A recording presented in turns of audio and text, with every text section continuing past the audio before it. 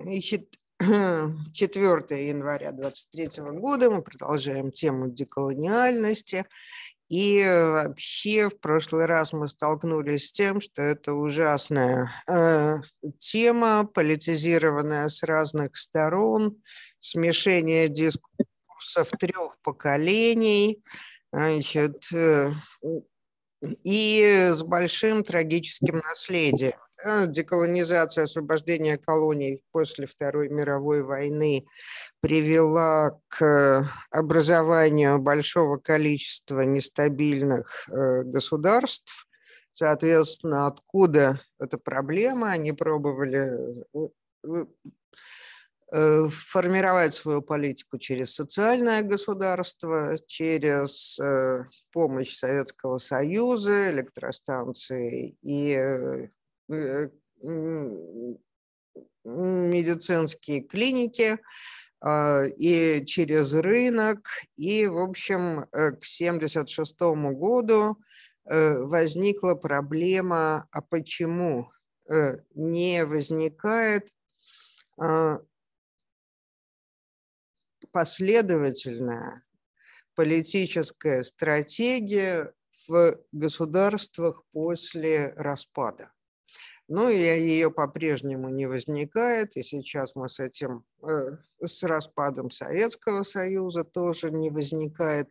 И, соответственно, ответы. Да, ответы э, 70-х годов, 76 -го года э, Эдварда Саида, э, эпистемологическое неравенство. То есть э, нет возможности, когда ты находишься в колониальной, ну, когда ты находишься в зависимости и пользуешься э, экспертным знанием колонизатора, нет возможности выстраивать э, политику в свою пользу. А, соответственно, э, эпистемологическое неравенство расползается на культурное неравенство, неравенство а культурное неравенство прикрывается всякими символическими фигурами и так далее. Да? Вот, значит, мы от политического неравенства э, прыгнули к эпистемологическому культурному неравенству, которое не позволяет решать политические, социальные культурные вопросы в свою пользу. И э, дальше возникает э, следующий этап э, – деколониальная теория, которая предполагает, что можно такие э, спровоцировать э, язык э, угнетенных и вытащить его через субверсии, через мимикрию, как мы сегодня попытаемся рассмотреть текст Хоми Бабы или Хоми Бабхи. И Значит, э, Хоми Баба – это а, индиец э, гарвардский, соответственно, э, преподает последние 30 лет и в основном интересуется вот тем же вопросом, который мы знаем по Гаятре Спивок. Да, это то же самое поколение, то же самое направление, могут ли угнетенные говорить. Э, соответственно, каким образом они говорят, если э, парадигма, понятие, э, авторитет и экспертиза взяты уже языком власти. А, если они говорят языком жертвы власти, то они говорят тем же самым языком власти – если там еще был второй текст, э, написанный а, э, Клавдией Смолой и Ильей Калининым. Если кто-то их посмотрел, там неплохие примеры. И вот как бы Индию это обсуждать не интересно, а интересно обсуждать постсоветскую этническую политику. И вот Илья и Клавдия предлагают такую историю, такую вилку. Есть текст Слезкина о колонизации. И есть э, тексты там, людей, которые изнутри этнических культур говорят о деколонизации. Значит, Слезкин утверждает, что это текст восьмого года, книжка, модная книжка. Значит, наделение, э, как бы создание для малых народов письменности, это есть колониальный шаг. Потому что вместе с письменностью передается канон литературы, и тогда э, этническое сводится к тому, что в основном наполняет деталями а базовая литературная э, диспозиция э, берется из литературы э, как бы властной, идеологической. И отсюда возникает большое количество этнических культур, которые борются за духовность, за э, мобилизацию субъекта в нужном политическом русле. А если они не э, преуспевают, если они пытаются повернуться к локальной идентичности, то они производят себя в основном жертвами. И э, вот э, дальше берется, значит, э, Э, Слезкин, как конспиролог, пытается найти вот этот вот заговор властного языка в деколониальных и антиколониальных дискурсах. А другие речи, речь ненецких писателей, говорит о том, что их э, культура забывается, выбрасывается, не признается, и нужно сделать духовное усилие, что каждый писатель, он же шаман, властитель дум и так далее. И вот откуда, значит, этот э, дискурс, он очень, он подозрительно напоминает, значит, этот дискурс, э, ну, как бы советский эмансипаторный. И э, получается, что э, выйти к раскапыванию э, собственной истории или третьему варианту практически невозможно. И, ну и мы как бы видим, что действительно сложно, либо, ну это если мы говорим там о как бы малых народах. А если мы говорим о больших народах, то повторяется та же самая история. А, значит, э, один большой народ пытается себя э, через э, интернационализм и постколониальность объявить, встроить в такую духовную мобилизацию, которая исключает различия. Да? Как бы мы берем языки различия, постколониальности, а э, дискурсивно объявляем духовную мобилизацию э, как бы чисто властного типа. Да? И, э, ну, и, в общем, так далее. Да? Э, это у меня был очень смешной пример.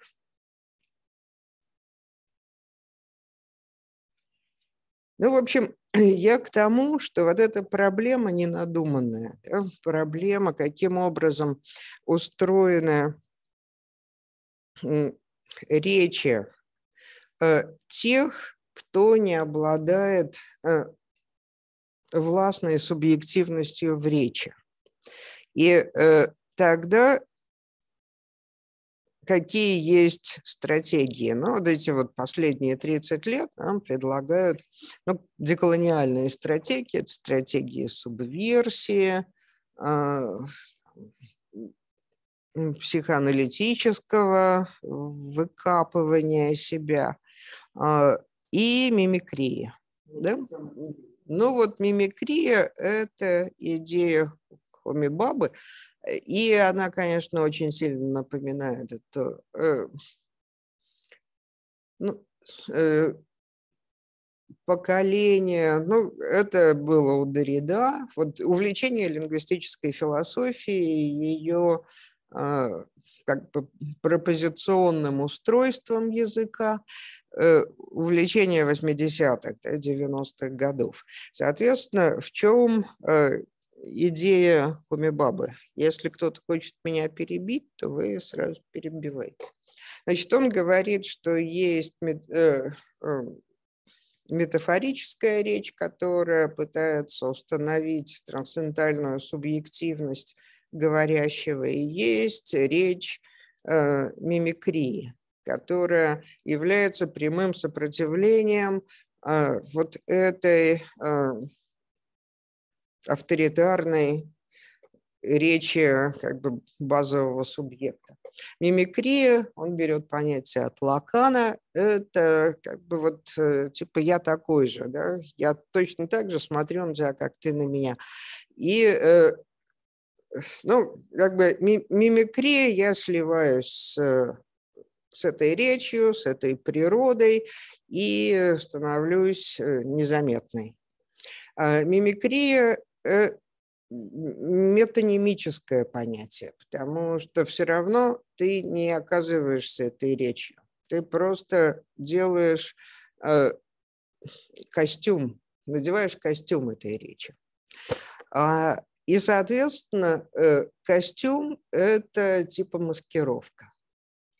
А, соответственно, э, мы замаскировались под идеологическую речь, и что там дальше с нами происходит? Мы сразу обнаруживаем э, в, э, за этой маскировкой еще большое количество э, убранного, вырезанного, незамеченного. А, вот пример.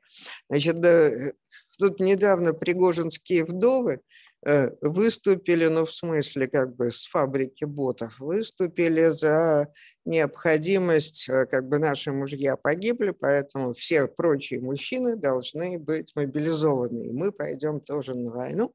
И, э, значит, я посмотрела комментарии, и комментарии то есть это чисто такая мимикрия. Да? Они говорят языком власти. А комментарии говорят, а, ну, во-первых, э, распознают эту речь как речь э, троллев, тролльную, и большое количество таких вот статистических данных. 70% убитых женщин убиты э, своими партнерами, мужьями. 80% женщин, сидящих в тюрьме, э, посажены за убийство своих партнеров. Соответственно, почему они так хотят отправить своих мужей на мобилизацию? Да? И начинается весь вот этот вот Э, травматический дискурс э, как бы прояснения обстоятельств. То есть так работает вот мимикрия, и, э, и какой вывод для нас? Да? Мы понимаем идеологическую речь, но мы не всегда понимаем ее изнанку в смысле мимикрии. И, соответственно, э, как бы интересно э, вот таким образом анализировать а, идеологию, э, постоянно, ну, как бы замечая, что она вырезала, и, в принципе, так ведь люди и работают. Они все время как бы хватают идеологическую, идеологическую догму и смотрят, а что вырезано. Но, во всяком случае, э, ну, огромное количество телеграм-каналов. И очень возможно, что так работает вообще идеологическая речь. И э, у нас э, есть некое иллюзорное традиционное представление, что э, идеологическая речь прямо врастает в тебя, и ты с ней сразу тождественен. Что есть таки, такой народ, который сразу прилипает к идеологической речи. Да? Соответственно, по Хомибабу его нету. А, э, есть э, э, форма мимикрии маскировки и соответственно, вот эти непрерывные усилия по вытаскиванию изъятого.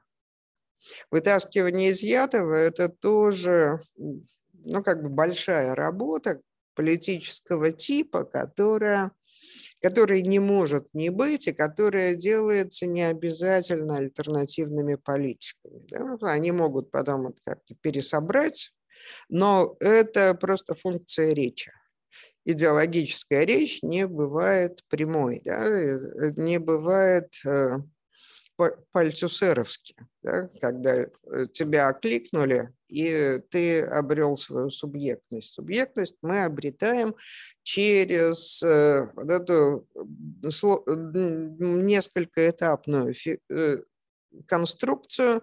Мы мимикрием, мимикрируем под язык власти, потом мы сразу же обнаруживаем изъятие какого-то опыта или какой-то локальности из языка власти. Потом мы начинаем его как бы вынимать, выним, э, предъявлять изъятия, но уже не на языке власти, а на языке субверсии, там, через сообщество, через э, альтернативные медиа и так далее. Ну вот, э, насколько я поняла, примерно такая конструкция.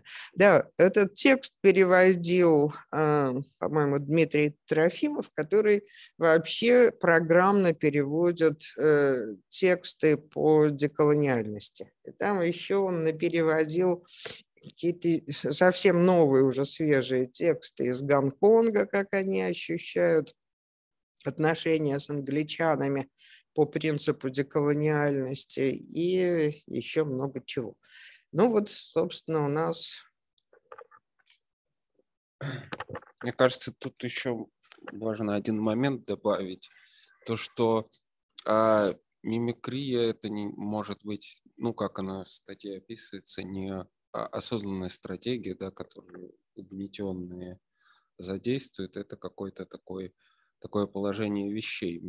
Мимикрия, она запускается, собственно, колонизатором, как я понимаю, а, когда вот это а, колонизатору нужно получить популяцию таких как бы уподобленных, да, уподобленных его культуре, да, каких-то около, ну, в случае Индии, около английских таких субъектов, но не совсем англичан, да, потому что если индусы станут англич, англичанами, то это будет не, не очень желательно. Да, тогда, собственно, ситуация колонизации, в общем-то, ну, в концептуальном смысле провалится. И поэтому создается вот такая, такая фигура вот этого похожего, похожего, но не совсем такого же, да, и в нее изначально вложено вот это различие мимикрическое, да, что вот угнетенные – это те, кто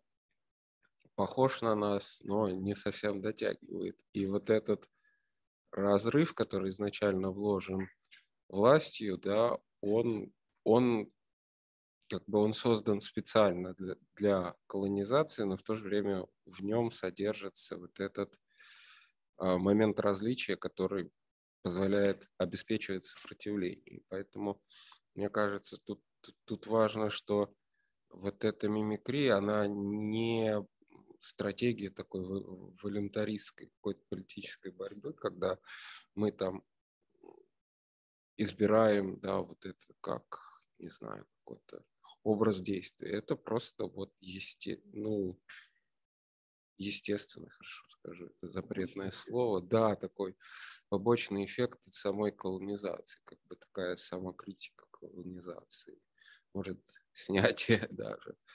Вот, и мне кажется, тут, вот это такой, ну, важный момент, который тоже можно обсудить. Мне кажется, это организация, если вообще. Вот я э, что, что хочу присоединиться к вам, Глеб, то, что вы говорили, да, потому что получается так, что если... Ну, вы сказали то, что нам неинтересно обсуждать Англию, все-таки текста был заявлен вот этот э, конкретно, давайте его немножко так как бы концептуально проработаем, потому что я нашел несколько типов мимикри, там есть, по-моему, три или четыре типа. Вот первый тип, он связан с тем, о чем говорил Глеб, тогда, когда можно себе реконструировать эту ситуацию, да, белые люди приезжают в Индию, и они хотят, они чувствуют себя носителями цивилизации, чувствуют этическую обязанность эту цивилизацию принести другим э, народам. Но они наталкиваются на некоторые противоречия, потому что, собственно, ценность этих англичан это, эм, это свобода, демократия, э, народовластие, ли, ли, ли, либерализм. А как, если они будут им эти ценности, если они будут им эти ценности э, э, транслировать, можно я, пожалуйста, закончу сейчас. Да. Э, и э, да, если они будут их транслировать э, в прямом виде, то тогда никакого колониализма это и, и не случится. Поэтому где-то этот колониальный дискурс, он должен как бы себя одергивать и себя останавливать, и, и, и давать ход каким-то другим стратегиям. Тут появляются как раз некоторые гибридные области, где есть привлекательные для туземцев вещи, которые как бы синтезируются с, с, с, с самими этими туземными вещами. Вот. Я, в принципе, для эмблематичности этой ситуации вот э, представил себе из, вот, в некоторых вестернах есть такие персонажи, индейцы с какими-то э, чертами э, культуры белых. Вот, например, шляпа цилиндров в перьях такой вот хороший э, пример по подобной мимикрии. Вот. А второй, значит, момент – это тогда, когда а, как раз он касается языка. То есть а, а, российского колониального языка, который в себе самом обнаруживает некоторую, обнаруживает двойственность. С одной стороны, он относится к объекту этого языка как к низшему и как бы объективированному, как, как например, там, э, к черному. Э, а с другой стороны, он, э, он указывает на какой-то фундаментальный страх внутри самой антропологии этих англичан, потому что когда оказывается, что негр, он до некоторой скандальности анатомически а, похож на белого, то сам белый а, чувствует себя несколько Э, неловко от этого. То есть встреча с э, другим, его унижение, его э, вот такой вот уничижительный российский дискурс, он возвращается к субъекту этой речи в виде подрывания его собственной субъектности. Вот, да-да-да, да-да, да-да-да, да-да-да, да-да, это получается вторая. Вот. Да, сейчас я, сейчас я э, э, скажу. Значит, э, третий момент – это когда, как вот правильно заметил Глеб, да, в, в колониальной речи есть второго типа двойственности, то есть это отношение к а, объекту, и с другой стороны сам как бы э, э, дефицит э, языка, который, который не описывает этот объект целиком. Но с другой стороны, есть и само движение как бы этого самого туземного объекта к этому языку. То есть туземец, когда он пользуется колониальной речью, он совсем не, совсем не занимается сопротивлением, совсем не протестует. Он обыватель, он, он подчиняется. Но когда он начинает э, подчиняться, то он э, начинает использовать культурные знаки и объекты этого колониализма как бы не по назначению. И вот э, приводится пример, как и Библию, которую, значит, тиражируют англичане в, в, в Индии, оказывается, что ее страницы скуривают и используют для розжига то есть э, с, с сакральным для западной цивилизации предметом делают что-то абсолютно десакрализующее, но, но при этом этого, этого как бы не, э, не понимая. В этом есть некоторая такая э, наивность и, само собой, разумеечность, которая направлена на вот эти вот объекты культуры западной, она оказывается подрывающей и, и революционной.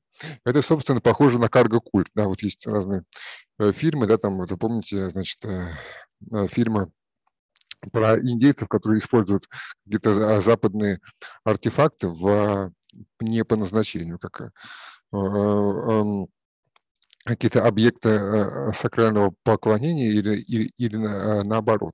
Вот, то есть э, множество разных объектов западной культуры, попав в колониальные вот эти вот режимы мимикрии, они оказываются десакрализированы и использованы не по назначению, и таким образом как бы они указывают на Э, дестабилизацию системы. Они как бы дестабилизируют общее символическое трансцендентальное поле взаимо взаимопонятности и как бы эквивалентности разных объектов и сил. Вот.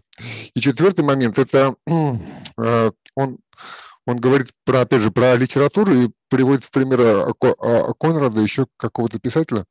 Он говорит про Э, значит, следствие, э, одно из следствий мимикрии – это нерепрезентативность. То есть это значит, что э, колониальный мир, мир, например, мир войны, торговли, разных культур, их смешения отношений, он как бы не репрезентируем.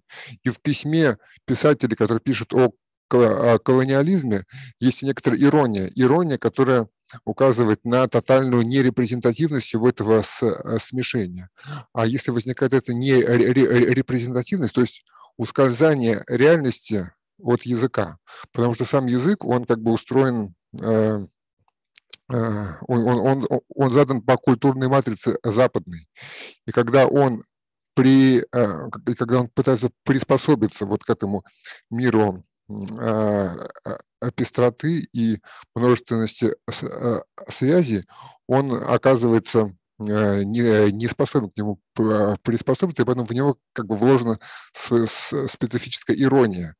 Вот, и это вот ирония, он обнаруживает у Конрада еще, там, у какого-то писателя. Вот, в общем, извините, что да, так долго, но э, резюмируя, да, вот хочу сказать, что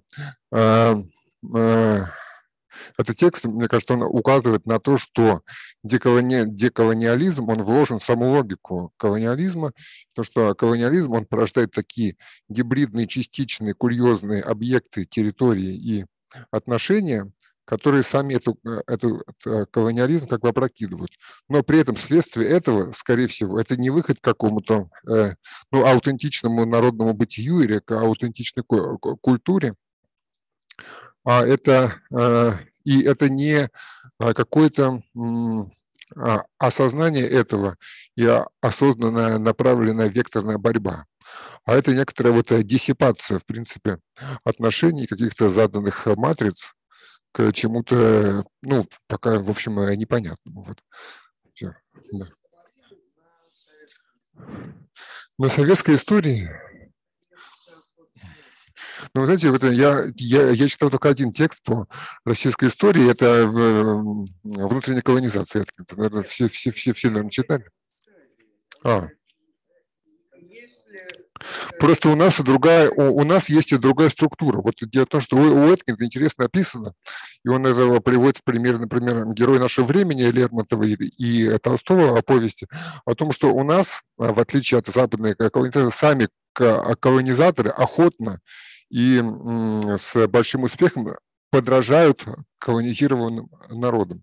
Этого не было у англичан. Англичане никогда не подражали индусам. А у нас возникают вот эти вот разные персонажи в, в повести «Казаки» описаны там и у Лермонтова, да, что у нас, значит, есть мимикрия как бы обратная. Вот. И э, и мне кажется, это хорошо видно на примере вот нынешней войны, например, потому что а, если посмотреть на отношения между а, кадыровцами и армией, и что по этому поводу пишут в военкоры. А кадыровцы, как некоторые ну, ну, так, в общем-то, они выглядят как такая, э, как бы избежать терминов, знаете, таких ну, я хотел сказать жестче, да, ну, в общем, мне просто вот сам, сам себя ловлю на том, что я сейчас буду говорить какие-то колониальные термины, да, потому что, ну, по отношению к чеченцам, вот. Но, но что делать, я же белый, и я, и я русский, поэтому, в принципе, а, приходится, вот. И а, что они выглядят в нашей культуре, да, как такие довольно диковатые, агрессивные, смелые люди, э, у которых абсолютно такой культ насилия. Вот. И э, русские, которые участвуют в, этом, в этой войне, как бы более модернизированные, они, э, военкоры их призывают к подражанию этим вот кадыровцам. Ну да, да, в некотором смысле как бы мимикрировать под кадыровцев, чтобы быть такими же эффективными и такими же абсолютно, ну как бы безбашенными и Да. А я слежу за мыслью. Как будто бы вот человек действительно из Англии приехал в Россию. Я Он. Почему из Франции? Странные вещи. Нет, а я просто предложу примеры мимикрии. Да, да, да, да, да, да, да, да, вот момент обратной мимикрии. Именно так. Э, э, в черкеске ну, да, да, да. Вы, вы все правильно говорите. чего? Это наша страна. Да Это я все, да это я все там. Давайте я, я передам Нет, Александру. я, Давайте. я хочу сказать, что это, ка- это какая-то тривиальность, которая ничего не, п- не поможет э, в, в разговоре как о колониализме, так тем более о нашей стране. Вообще, э, вот эта статья, на что я обратил внимание в этой статье, что колониализм и деколониализм вообще в сути проблематики, поднятой в статье, не имеет никакого отношения. Абсолютно. Речь идет о, если Алле угодно, да, о властном дискурсе и его деконструкции, возможной деконструкции. Я предпочитаю говорить о картине мира. Есть реальность, есть картина мира. Картина мира может формироваться властью, если она на, на это способна. Все время есть некоторый гэп между реальностью и э, картиной мира. Так? И вот все четыре мом- момента, которые тогда точно изложил э, Сергей, да, они прослеживаются во взаимодействии реальности и картины мира э, с точки зрения субъекта человека.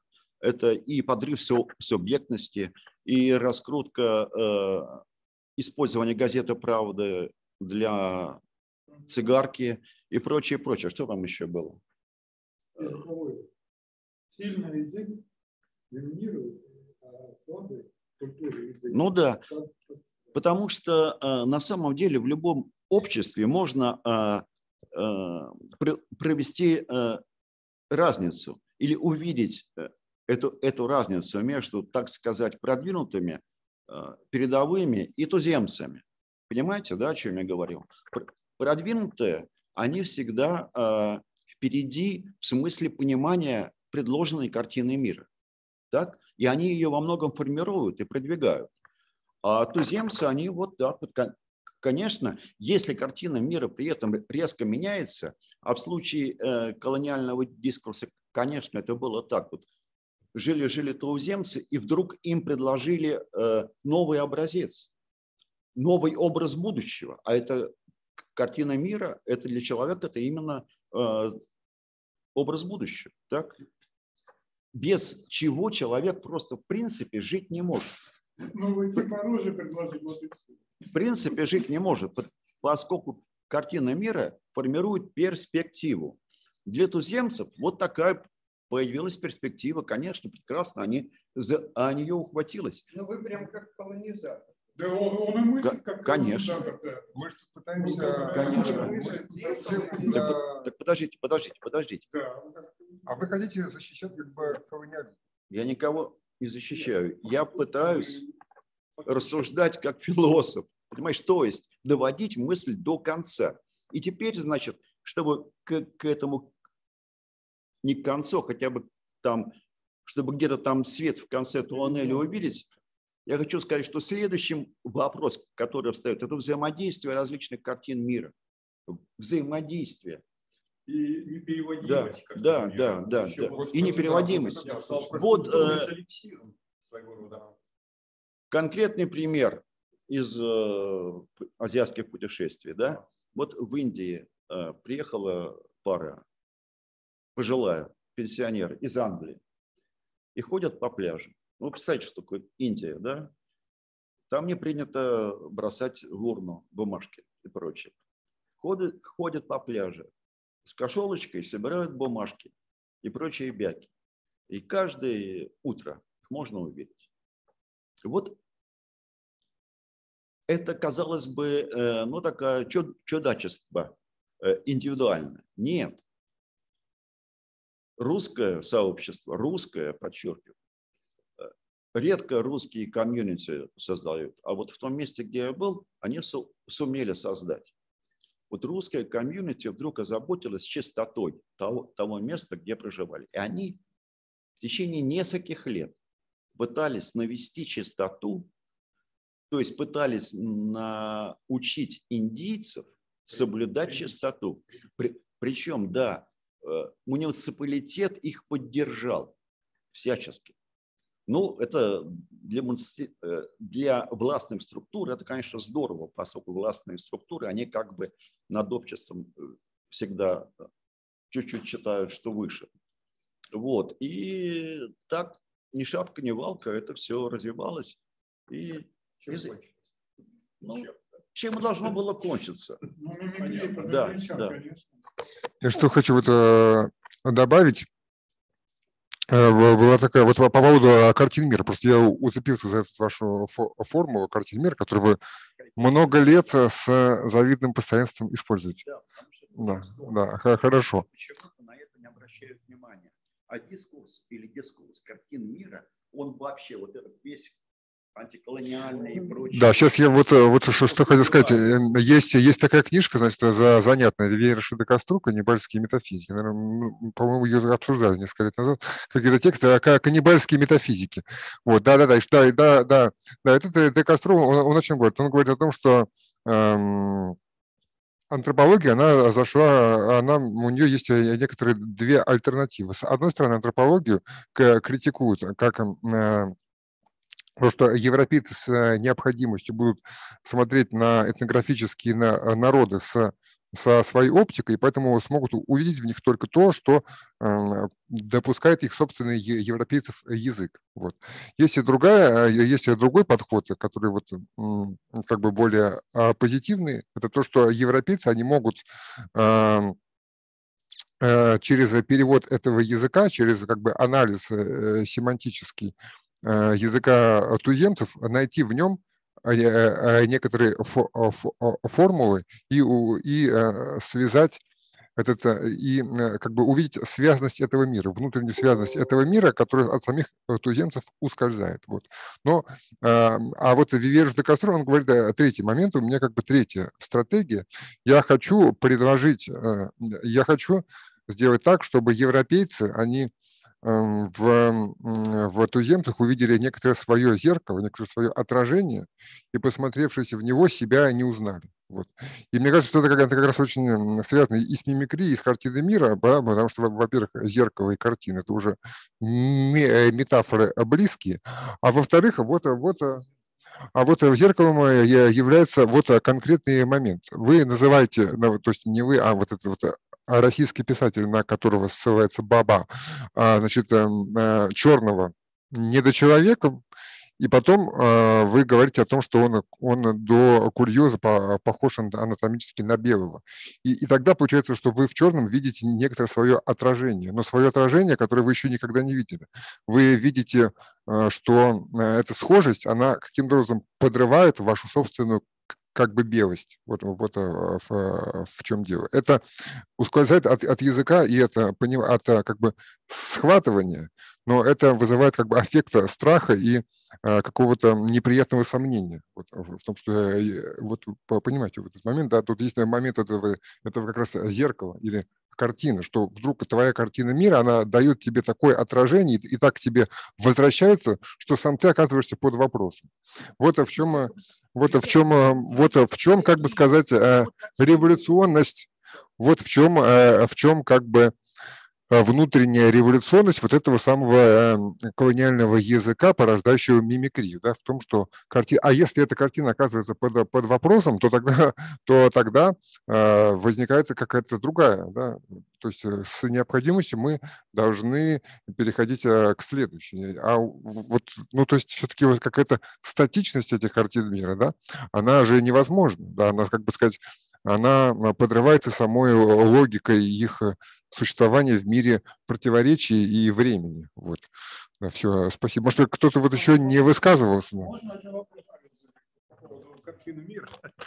Эм, я где-то кого-то слушал, и речь шла именно вот о том, как понятие картины мира складывалось в России и в Германии. И вот тут есть определенная генетическая связь, поскольку русская культура многое заимствовала, начиная там с Петра, заимствовала из Германии, поэтому тут произошло ну, почти адекватное транслирование, трансляция вот этого понятия в, русское вообще понимание картины мира. Да?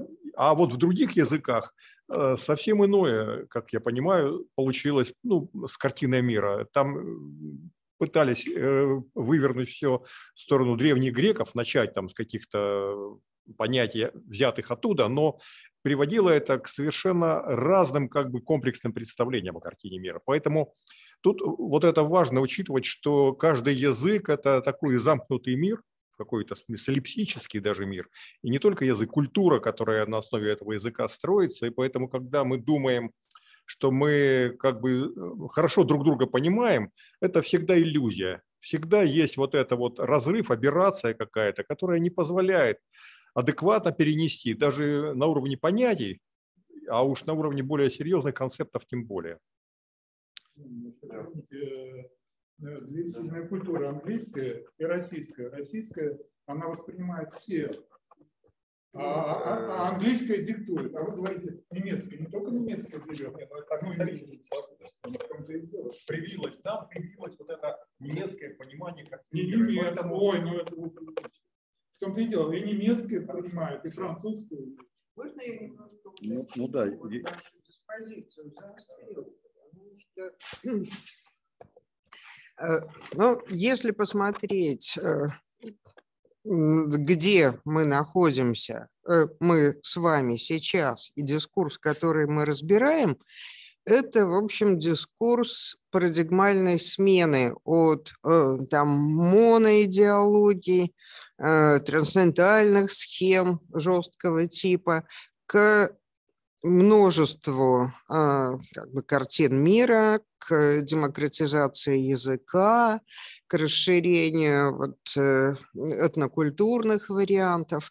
И это то же самое, с чем мы имеем дело. Есть э, политическая идеология, есть множество сообществ.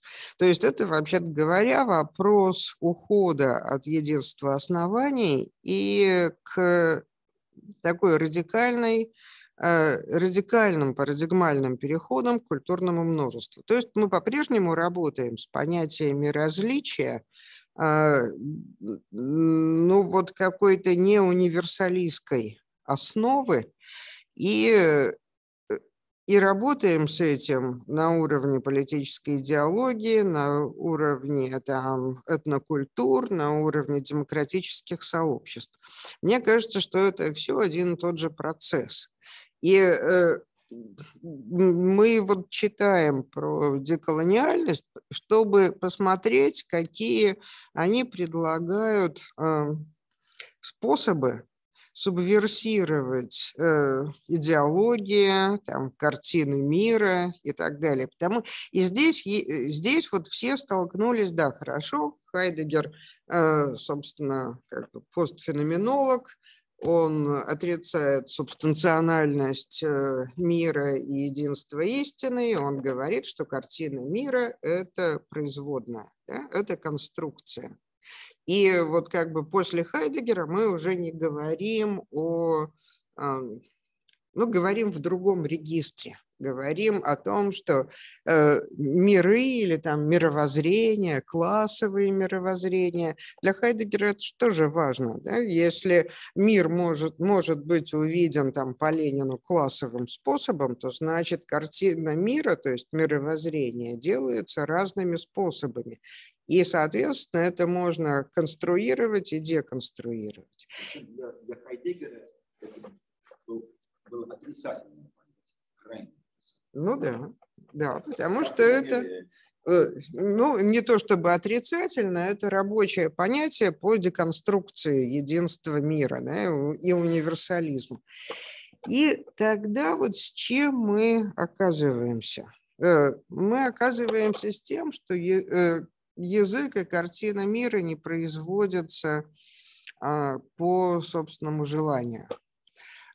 У этого довольно много такого властного наследования, да, потому что вообще, когда срастается мировоззрение, то оно срастается уже ну, как властное мировоззрение, оно навязано, ты не можешь из него выскочить. Это уже канон. Борьба с каноном Э, борьба с каноном – это непрерывная работа искусства. Да? Как, бы, как подорвать один канон и э, пере, э, как бы перетянуть его в другой. И всегда есть огромное количество интересантов, потому что канон всегда исключающий. А, ну, потому что вы, вы хотите жить во времена Рембранта, и э, больше у вас ничего не будет. Да? Вы себя мумифицировали, подвели под Рембранта, и больше никаких изменений в вашем восприятии, мышлении, э, чувствах быть не может. Да? Официальное искусство да, входит, как бы смотрят эту культуру, она сильная была в свое время. Это просто как бы в истории. Ну, люди-то живут, как говорится, не в Рембрандте. И зачем подрывать то, что ну, существует? Нет, Алла, не... Можно? Алла, можно? Да, да, Марина. Но не в Я начну. Да, да. А слышно меня, да? Да.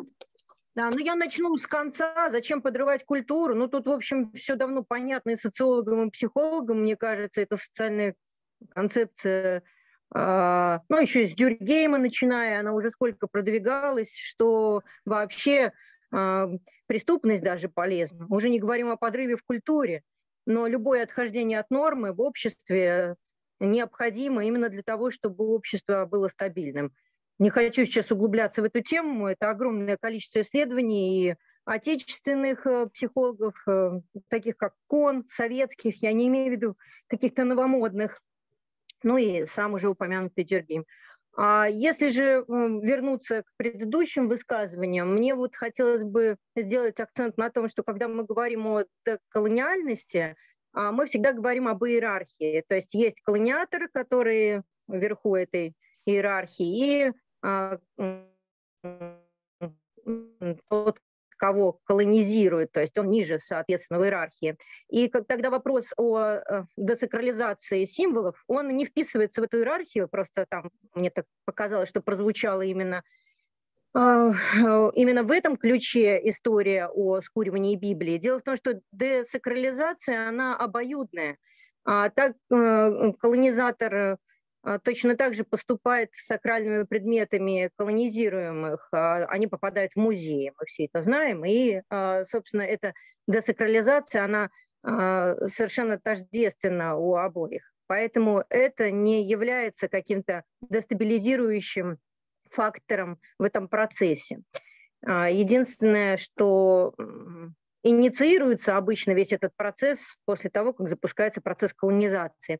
Но следующее, что мне хотелось сказать, это вот к описанию мира, где существует реальность и существует э, а, картина мира, ну, в терминах, э, обозначенных выше, я буду э, от них отходить, это все-таки не единственные описанные в данном случае в современной философии примеры. Если их вписать в то, что говорит вот Баба, и это будет наверное, то, что называется, ну, реальность это будет первое пространство, ну, вообще в деколониальном дискурсе это часто звучит, э, теория трех пространств, и реальность это первое пространство, э, картина мира, так скажем, можно э, сказать, что это и есть то самое второе пространство, и философы, которые говорят о деколонизации, они все-таки больше акцент делают на изучение так называемого третьего пространства – то есть э, пространство, где могут встретиться беспроблемно все, все предыдущие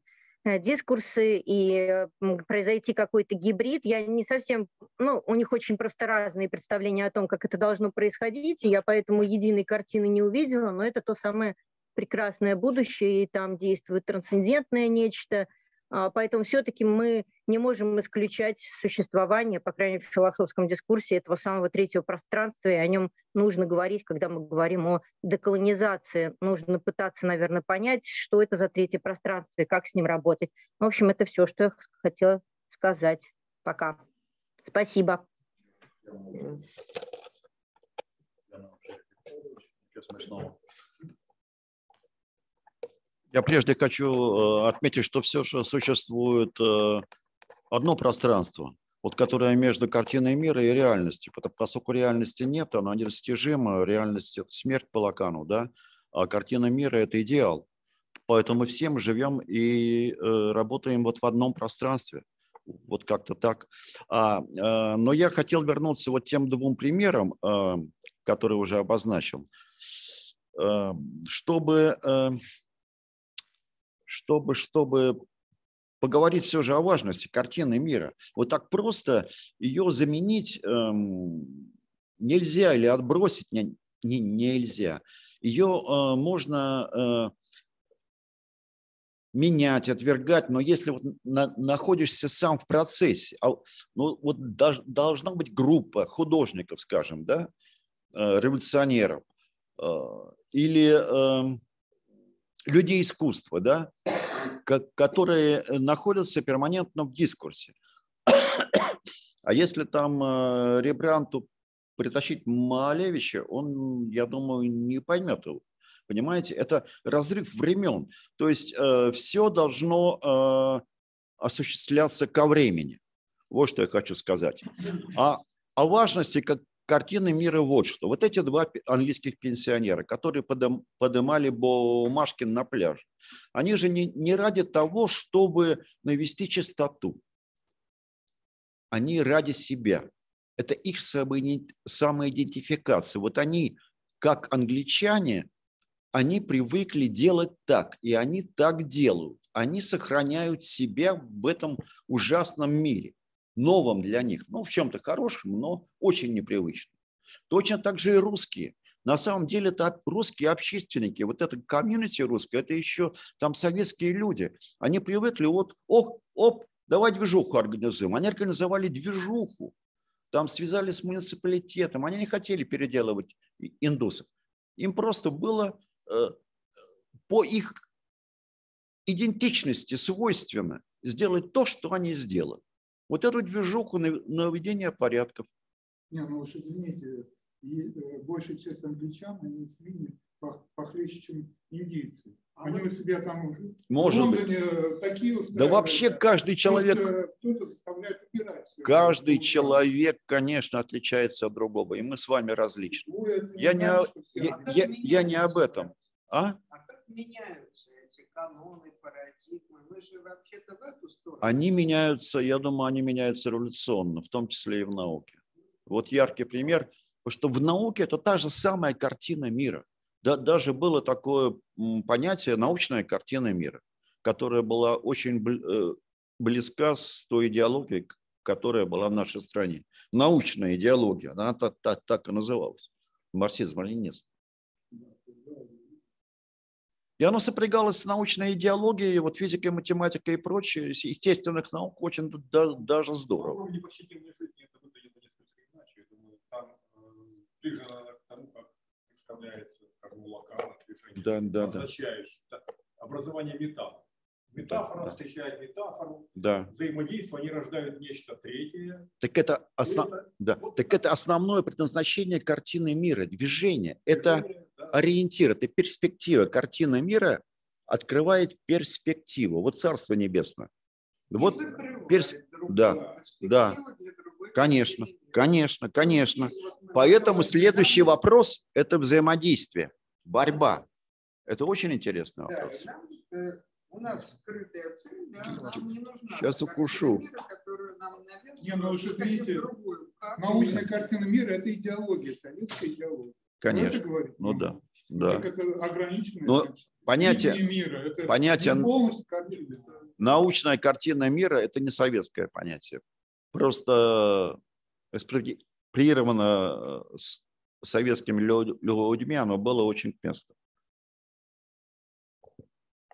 Ну вот, э, да, да, вот просто Александр сказал про то, что смена картины мира через революцию происходит. Вот вы, вы сказали, вы же так сказали, да? А, видимо, это исходит как раз из вот э, советской науки, это идея, да? Но э, революция, она, она как, э, это, да, структура революции в том, что есть некоторый выброс негативности, исходящий из необходимости, потому что есть какие-то осознавшие а, а, массы, что вот так больше нельзя, и они коллективно начинают совершать некоторое насилие и заявлять о себе. Но вот то, что мы обсуждаем, да, да, да, да, да, да, да, это да, но вот то, что мы, но то, то, что мы сегодня, да, обсуждаем, это совсем не, то есть там картина мира иначе меняется. Она меняется как бы подспудным, ползучим, самореволюционирующим образом, который, вообще-то говоря, э, не является, э, который не исходит из какой-то осознанной э, необходимости.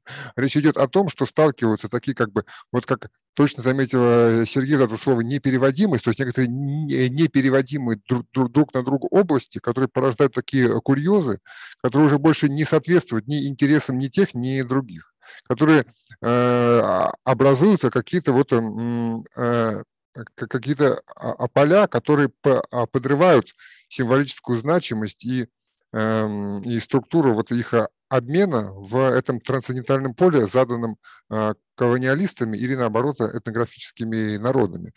И тут тогда возникает вопрос, вот в чем, мне кажется, очень принципиально. Коль уж мы говорим, например, об освобождении, о революции, то есть о таких вот вещах, э, связанных с эмансипацией, да, все-таки, что, значит, э, деколониализм э, сегодня, да, он же на что направлен, да, на, том, что, на, на то, что белая европейская и идентичности, типа отношения к миру, он должен быть эм, подорван вот в тех э, э, местах, где он насаждался. Вот. И это, как бы сказать, считается правильным, хорошим и замечательным. Да, а к чему это ведет тоже, то, что это ведет там, к самоэкзотизации, э, к некоторой тоже своим формам идеологии, к тому, что это ориентализм, например, стал таким большим рыночным феноменом, появлению новых культурных фетишей, которые прекрасно воспроизводят этот глобальный рынок и глобальную систему. Э, а левый ответ, вот, например, Ника Сырничков в книге «Капитализм а, платформ», он говорит о том, что деколониализм замечательно, да, а, прекрасно, культурная идентичность замечательная, но нужно, нужно удержать и оставить как бы универсализм. То есть должен быть универсализм. А универсализм, он из чего исходит? Он исходит из того, что во всех абсолютно обществах существует феномен неравенства. И э, феномен неравенства основанный на некотором материальном э, на материальном превосходстве одних над другими, на том, что у одних что-то есть, а у других того, что, чем бы они хотели обладать, нету. И вот это как бы есть то общее, универсальное, что есть вообще во всех народах, во всем человечестве. Вот. И на это нужно как бы обращать э, внимание. И именно это нужно, э, нужно как бы давать этому язык, давать этому форму, давать этому некоторое политическое э, представительство. Э, вот. И поэтому, да, тут у нас сталкивается такая вот нерасчлененно, квирно странная область, да, которая как бы может быть какой-то неприятно странный и со стороны вообще и колониалистов, и традиционалистов, а с другой стороны есть необходимость в универсализирующей некоторые тотальности, которые вообще как, как с этой как бы примирить не очень э, понятно. Вот. А можно Чему надо давать язык? Нет, можно Давайте язык, а, давайте язык и феномену неравенства и, эм, и угнетения, которые есть в каждом обществе. Вот. Этому Да. язык, А, а, а коль мы, просто коль мы сталкиваемся, потому что, Александр, потому что, потому что, потому что мы сталкиваемся, понимаете, в этой статье с такой научной проблемой, что есть этот э, момент э, как бы непереводимости, мимикрии и эм, ну вот э, различие между английскостью и англичанством, да, вот невозможно, то есть э, не, э, можно воспроизводить английскость, но из нее будет что-то такое изъято, и с другой стороны добавлено, что э, э, как бы сметет дискурс. И также мо- может быть и со всеми другими смыслами, и как бы, понимаете, вот в чем В дело. самом концепте, в этой необходимости картины мира уже зак- заключена фальшь. Потому что картина мира – это по определению нереальность. Но картина мира необходима человеку, повторяю, для того, чтобы человеку давать перспективу, без чего человек загибается, ему невозможно. Если реальность сливается с картиной мира, если утрачивается разница, теряется перспектива, э, э, вот случается революция. Но если я говорю революция, это не означает, что невозможно и не происходит эволюционное изменение картины мира. Кто за это ответственен? За это ответственен элита. Элита формирует картина, и, э, картину мира и по идеологию, другими словами, и по определению элита – это те, кто имеет, э, живет на доходе от разницы. Вот арбитражный доход между реальностью и картиной мира – это э, пред- пред- предназначен для элиты. И по определению, можно сказать, элита – это… Так вот, подожди, ты понял, в чем, нера- Да. откуда неравенство взялось? Хорошо, ага, хорошо, так что? То есть дискурс картины мира, он содержит в себе понимание неравенства, то есть эту самую универсальность твою. Да. Она включена.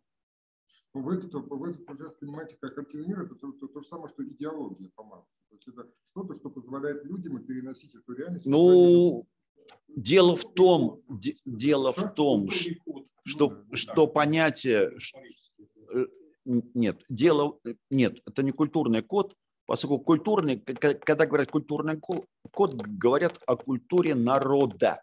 Ну да, А когда мы элита, на уровень да, да. сознания, Естественно, там нерелевантна, как понятие. нет, очень даже релевантно. Исторически прослеживается, но была религиозная картина мира у людей. Прекрасно, она была релевантна.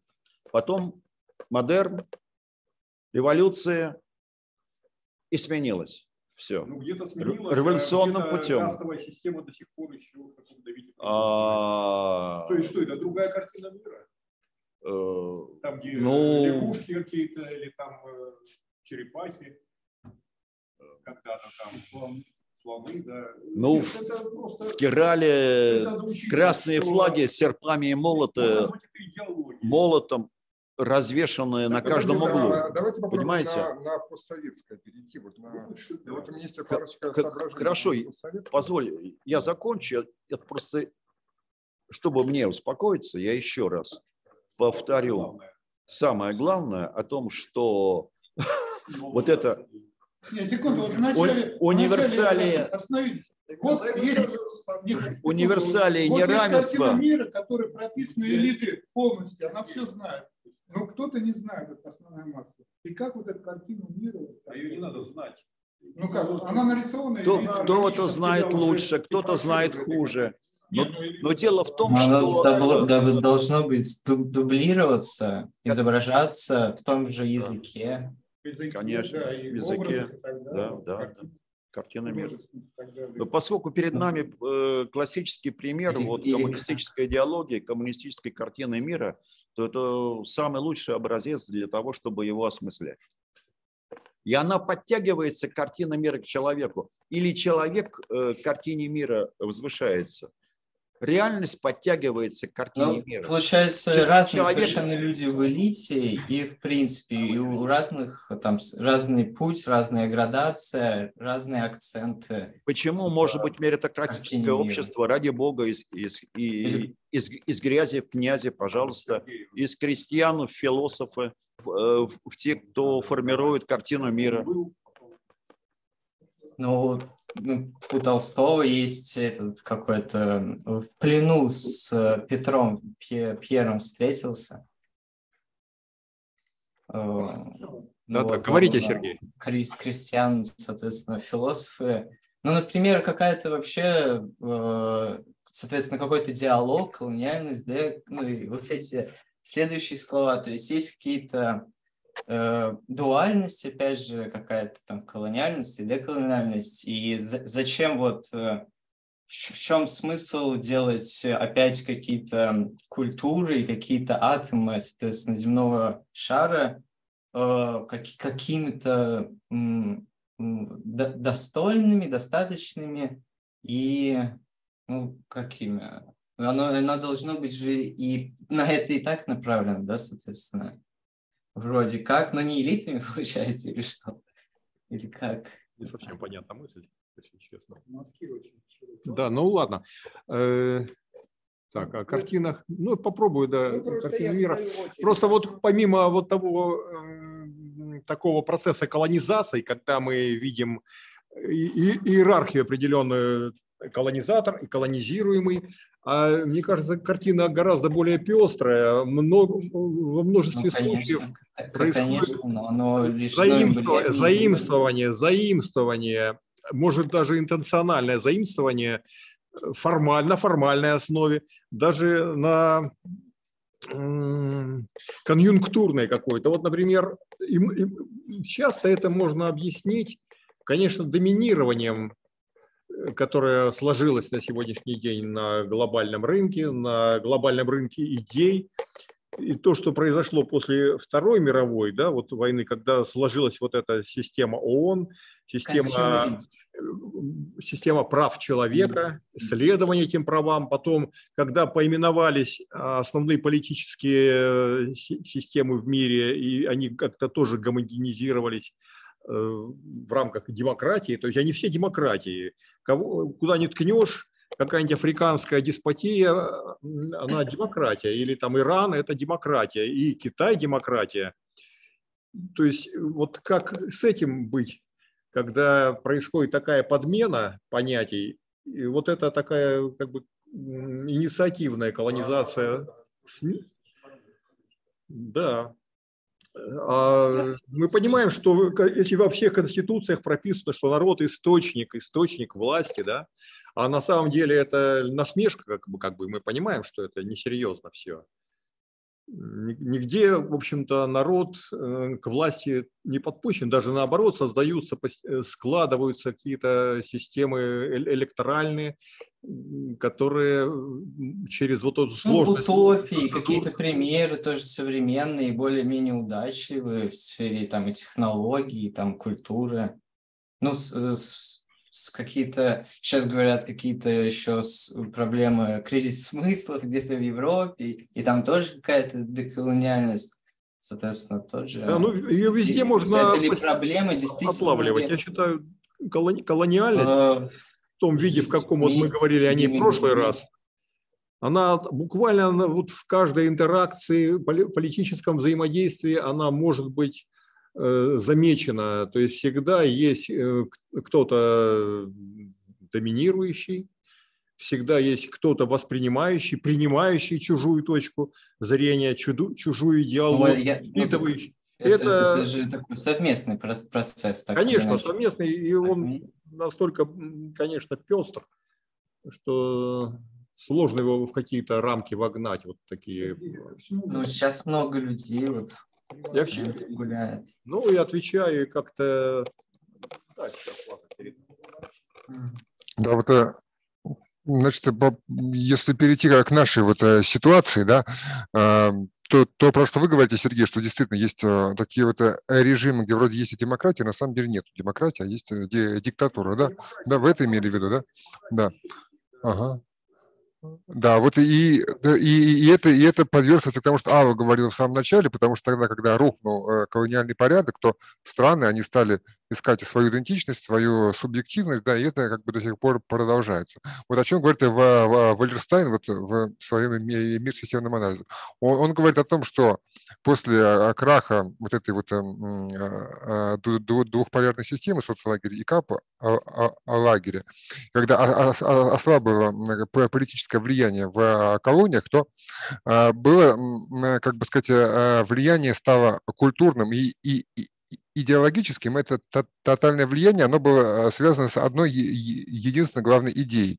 О том, что э, если страна хочет э, достигнуть свободы и процветания, то она должна у себя устроить либеральную демократию. Вот либеральная демократия и капитализм. Это главные вообще ключи к тому, чтобы обогащаться, жить в мире, вот всему миру. А потом, значит, Валерстайн говорит, что вот это было такой главной идеологией 80-х годов, и оказывается, что это так не работает, что так не получается. И с одной стороны, мы можем посмотреть на страны, в которых нету либеральной демократии, которые до, достигли большого экономического успеха. Это, например, Сингапур, где вообще Ли Кван Ю вел, как известно, диктатуру, капиталистическую э, диктатуру. Южная Корея тоже фундаментальная рыночная диктатура. Левые партии запрещены вообще. Все партии, которые выступают за социальное государство, запрещены людей сажают в тюрьму, огромный экономический рост, 40% ВВП в год в 1978 году. Все это просто это сумасшедший совершенно рост. Это не, не было в истории человечества. Потому что Китай, сумасшедший тоже экономический рост, да, и тут оказывается, что вот эта самая либеральная демократия нет, не способствует она росту экономики, а способствует она, она как, как раз-таки обогащению центра, стран центра. Если другие страны тоже перенимают эту а, модель, то тогда они начинают обогащать э, центр. Вот на это значит, указывает э, Валерстан, и он говорит, почему в Южной Америке постоянно происходит э, революция, потому что там есть качание между значит, какими-то левыми проектами, гибридными с местной спецификой, и либеральной демократией. Когда они избирают либеральную демократию, то оказывается, что они начинают кормить американцев. Вот. И, значит, и что у нас э, произошло тоже с крушением этой самой системы? А у нас тоже случилось, что мы стали перенимать либеральную демократию. Но мы, но мы ее э, переняли, поскольку мы как бы страна с западной культурой, западной, э, западной цивилизацией, а христианская страна, но одновременно мы переняли либеральную демократию колониально, то есть в режиме того государства, который вот эм, Григорий Юдин, вообще эта традиция политической науки, назвала бонапартизмом бонапартийский режим или цезаристский режим. Это такой режим, при котором работают формально все институты демократии. Сейчас я, сейчас я договорю. Постарайтесь потерпеть по, по полторы минуты. А, а, а, так вот, да, то, что работают все институты демократии, а по, а по факту у нас оказывается ди, диктатура. Вот. Но, но, нет, нет, нет, нет, нет, это, это в, в центр, да, да, и идет в центр, в смысле, кстати, да. Но тут э, у, у Вейерстейна центр – это Европа и, и Америка.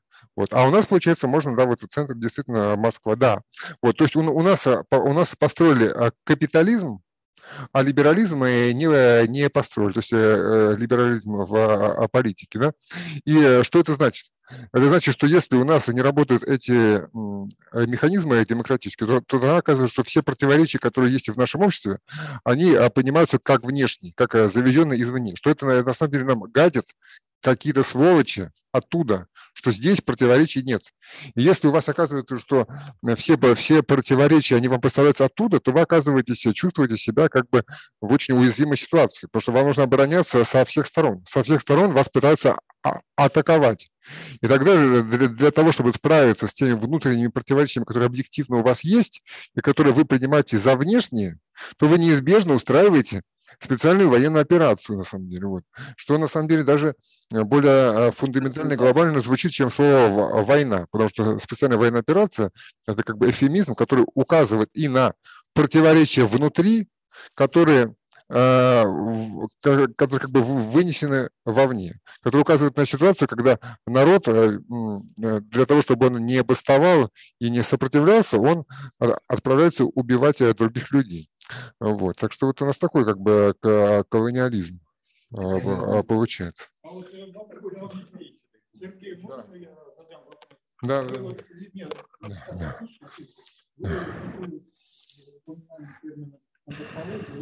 Как-то у вас такая интересная глубокая мысль э, промелькнула, что как бы э, англичане, понимают человека по-своему, да. вот как бы другая страна тоже понимает. Это как вот столкновение понятно, понимание. Вы имеете в виду э, туземная сторона? Да. Не, разное понимание человека. Вот, угу.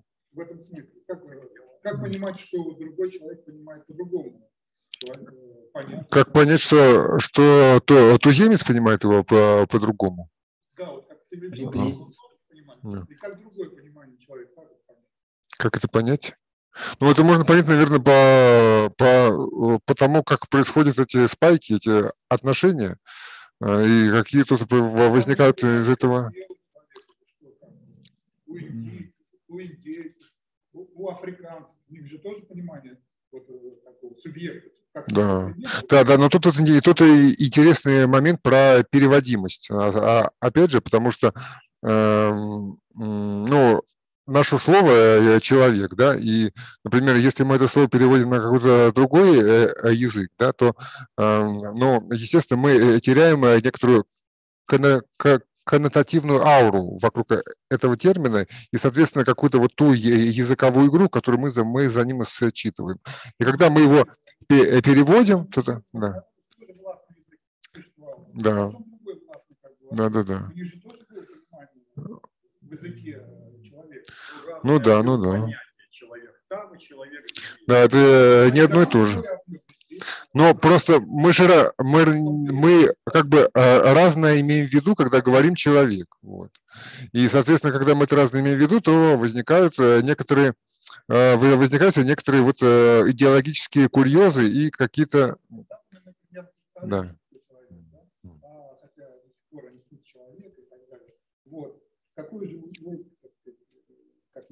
А, ну у всех, наверное, по-разному, тут уж э, трудно сказать. А вы знаете, дело, дело в том, что вот э, было... было...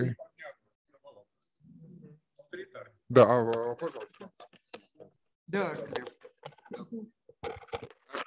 Короткий комментарий. Мне кажется, вот эта тема у Ворфа да, раскрыта. Уор, Ворф. Да. Да, да, в гипотезе лингвистической, как за, за зависимость что-то форм мышления и у культуры от языка, да.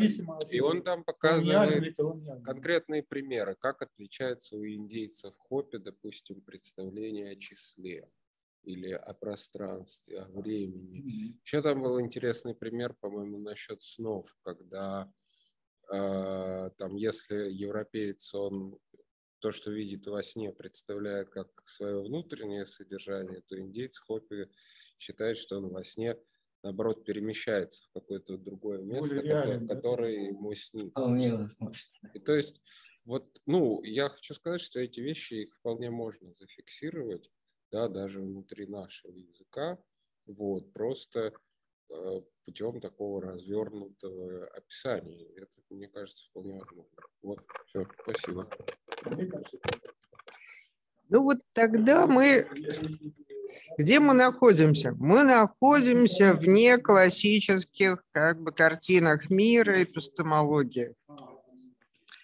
Какие у нас есть, вот если очень грубо, да, какие вот есть предложения по трансформации одной парадигмы в другую, да, как меняется история, как меняются картины мира, которые э, в истории разные, этнично разные, культурно разные и разные в смысле одни как бы вертикальные, другие горизонтальные. Мы предполагаем, что мы движемся вот в сторону умножения.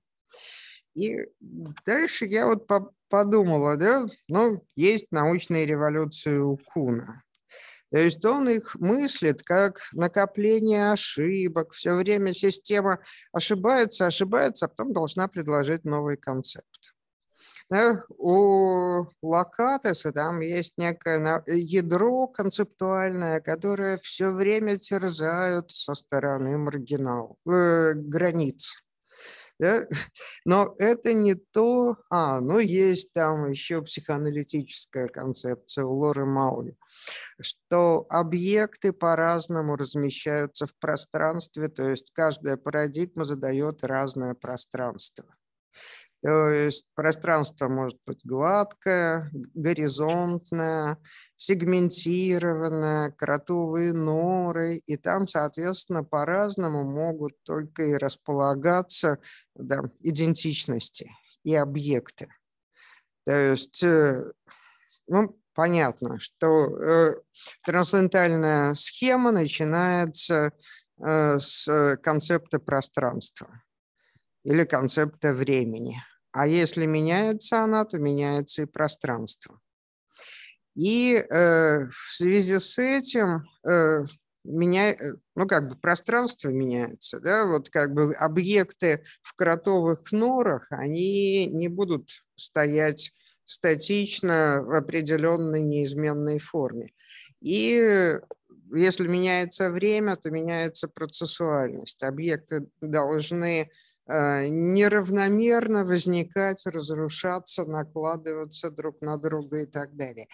И вот как бы э, мы занимаемся э, как бы деколониальностью в перспективе парадигмальных переходов, смен картин мира и поиска стратегий, которые нам позволяют наблюдать и ну, отчасти работать на переход. Потому что всегда есть какие-то вещи э, прежние и э, достаточно э, прямые и опасные, да, как бы в новой сложной ситуации, когда формируется какая-то э, новая ситуация, э, Страх смерти. Эпистемологическое, онтологическое, то тут э, всегда можно как бы э, сработать кувалдой и репрессией. И, соответственно, вот какие у нас э, есть стратегии. Да? Если мы опять возвращаемся к, к баба, к бабе, да, тогда у нас есть стратегия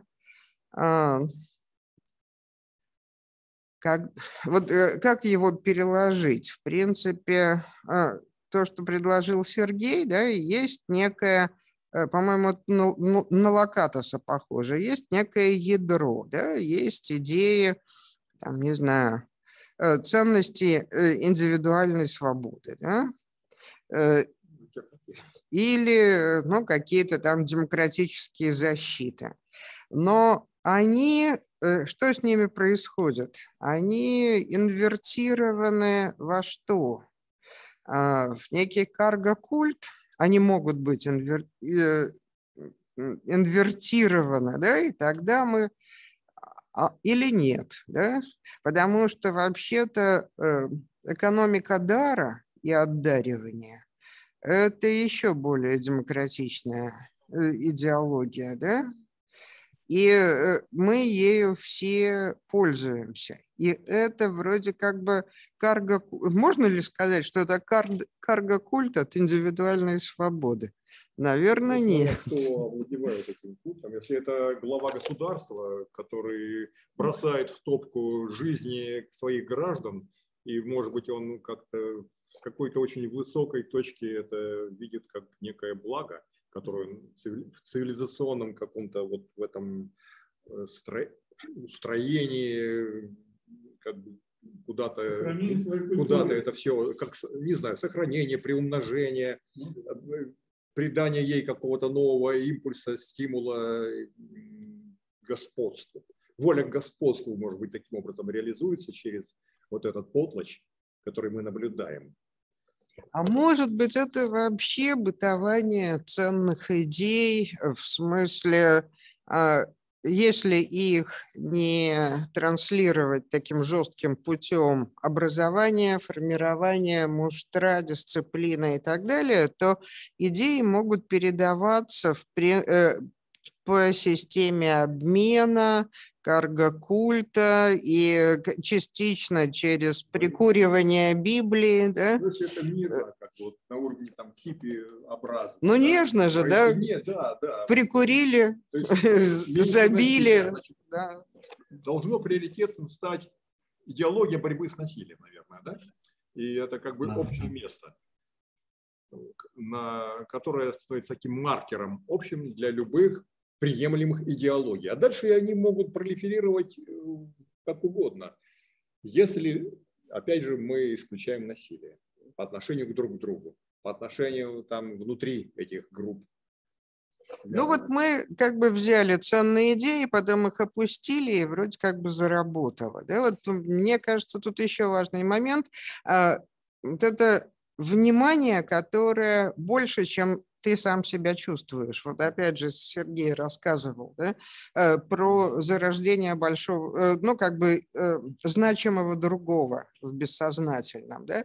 Я думаю, что я вот такая вся универсальная и без подвала. И вдруг я оказываюсь рядом с другим расовым или этническим человеком. И я вижу эту этничность за пределами моей рефлексии. Я сталкиваюсь э, с этничностью или с расовостью. А И сразу моя расовость выплывает на поверхность, да? потому что вот этот ход мышления, он делает меня тоже расовой. У И... вы, вы слушали, наверное, там он приводит пример, когда немецкая женщина-профессор... Что обсудить, главное, не расовый. Что? Да, да, Микрофончик или выключи микрофон, потому что вот как-то тут вот неожиданным образом он проявляется.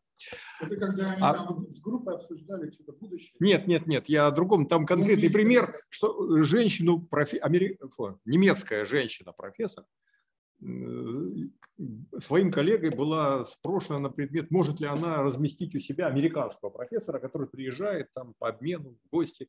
Она, конечно, но когда она открыла дверь, и на пороге оказался темнокожий американский профессор, что-то у нее там внутри передернулось. Она, конечно, подавила, соответственно, себя повела адекватно, но потом она сама собой произвела такую рефлексивную работу, откуда, что это такое вообще. То есть обнаружить в себе это вообще, наверное, очень оздоровляющая какая-то практика. Их должно быть она больше. Как их так, как-то их надо провоцировать, может быть, даже. Что я написал в статье? Нет, это, ну да, она написала. Об... Ну почему? Не, ну, примем за чистую монету все-таки маленькое резюме тоже э, попробуем. Вот и то, что Алла сказала, да, значит, э, по поводу э, того, как да, да, значит, что воспроизвести этот момент? Да, у нас есть некоторый язык правильный и эмансипаторный, он транслируется властью, а, а тем не менее власть его самого как бы стопит, тормозит, и уже народ его воспринимая, синтезирует его с какими-то другими своими вещами и и, возможно, на выходе получает что-то хорошее и правильное, вроде, вроде например, экономики дара. А, вот. Э, если к этому присоединить политологический а, а, анализ, да, вот есть, опять же, я сегодня про это говорил уже, что у нас режим, который э, называют э, некоторые ученые бонапартистским, да, или цезаристским э, режимом, то есть у нас работают формально все вот эти демократические институты, а по факту у нас диктатура. И прошло, допустим, вся вот идея, которая продвигала Екатерина Шульман, она была в том, что как раз у нас есть эти институты, которые есть сама власть, которые а, формально их а, создала, заявила, конституционно а, легитимировала, и мы должны этими самыми легальными способами, которые уже в системе заложены, их развивать, укреплять, устанавливать и, и тем самым эту как бы бутафорию демократическую делать реальностью. Вот в чем как бы была и, и идеи, да. Но оказалось, что этого не получилось, да, потому что, опять же, система, она внутренне свои противоречия не воспринимает как реальные, она воспринимает как завезенные извне, и тогда получается, что нужно устроить войну, чтобы эти противоречия э, разрешить. Вот. Вот, да. А, в чем, э, значит, э, экстремистские вещи скажу. Мне кажется, что как раз с идеей мобилизации, да, и вот с некоторые и мобилизации конкретной, и некоторые духовные, культурные мобилизации страны, она как, как раз-таки может э, вылиться в подрывающие ее саму карго-культы, причем не теми людьми, которые которые самосознательные а, оппозиционеры, просто э, это превратит во, во что-то, что не понравится ни тем, ни другим. А, вот такой момент. Кто-то еще может? А, да, я бы хотел отметить просто то, что вот ценность индивидуальной свободы, она вторична по отношению к картине мира, которая была э, сформирована и навязана. Ну, в, в данном случае как-то считается, что это от христианства пошли все. Ценность индивидуальной свободы вдруг. Да, да, да. Да, но э, а ценность э, дара, она без всякой индивидуальной свободы имела место быть. Да. Да, да, да. Реализация, да. Просто э, вопрос же заключался, э, как был поставлен вопрос о том, как э, происходит смена парадигмы. Вот ретроспективный взгляд утверждает, что ну, только революционным путем возможна резкая смена парадигмы. Ну, Картины мира резко. Кто-то. Как она, как она формируется? Она формируется подспудно, длительно.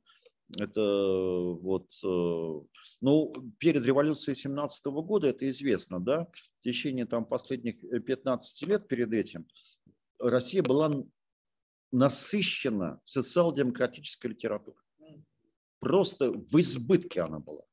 Ну, а в последний год-полтора э, перед событием э, ну, по крайней мере, в последний год там конкретные большевистские газеты, э, ну, социал-демократические газеты доминировали, и ну, больш... большевистские в том числе. У нас страна христианская была, да, да, да.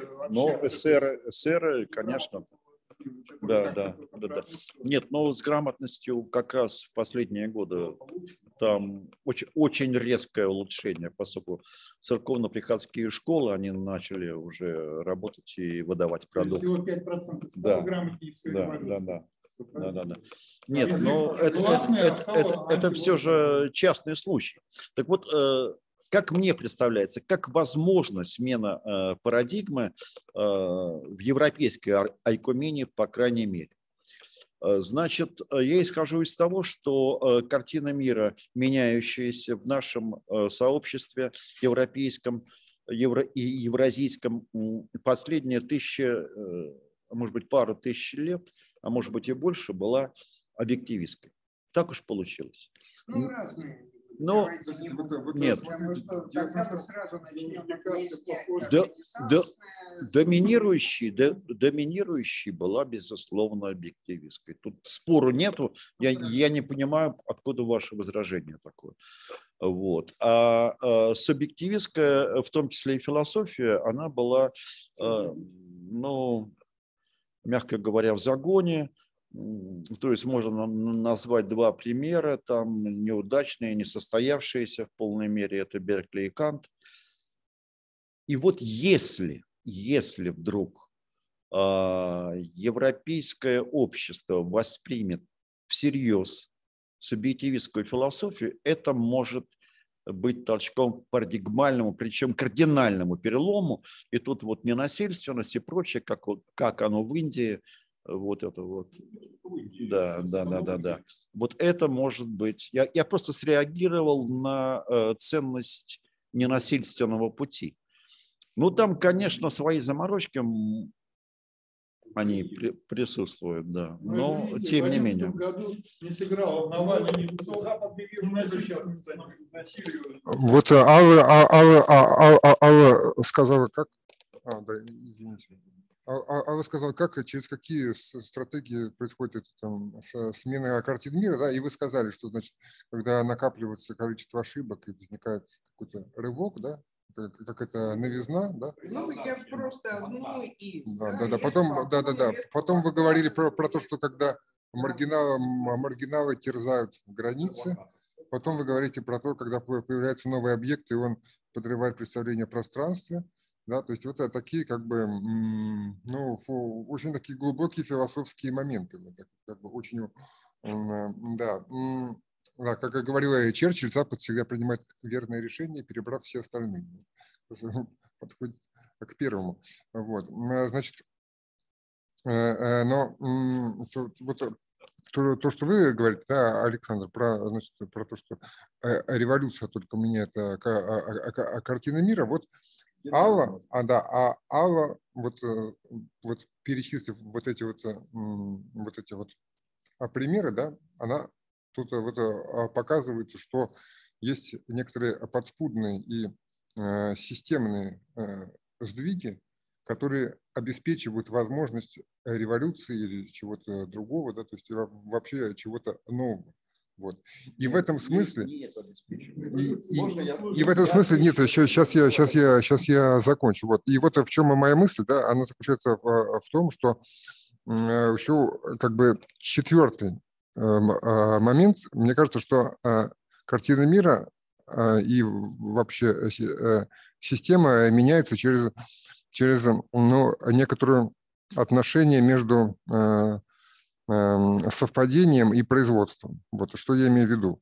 Интересно, вот пишет Квентин Скиннер, значит, в книге про историю по политической теории, он, он, он, пишет о том, а, про вопрос, который вообще всех волнует и который во- во- вообще является самым, во- во- возможно, главным вопросом политической философии, са- самым главным. Это вопрос о том, каким именно образом политическая теория соотносится с реальными политическими действиями.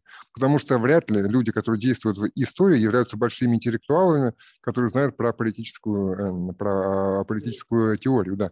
И он говорит, что политическая теория, она так действует, что она создает для поступка возможность быть изобретенным и, и возможность э, вообще случиться. Она со- создает для поступка некоторые моральные э, и этические обоснования. Она, она, она создает для него также методологию, некоторую а, а, прагматику. Вот. И э, политические поступки, они э, случаются именно по- потому, что их, их э, как, как- бы по- а, политическая теория дает для них люфт, м, дает для них возможность случиться.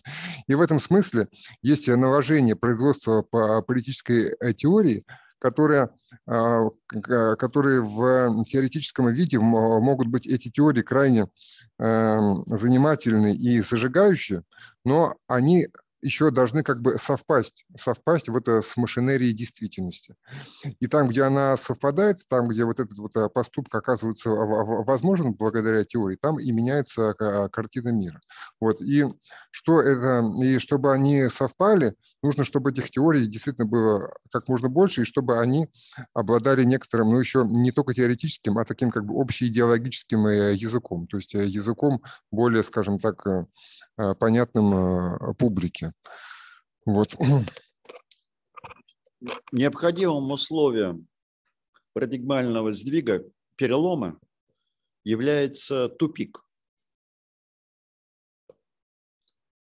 То есть, когда реальность подтягивается к картине мира, когда у людей пропадает перспектива, когда умные люди понимают, что они ничего не могут придумать, это, Ну, на- это Есть называется тупик.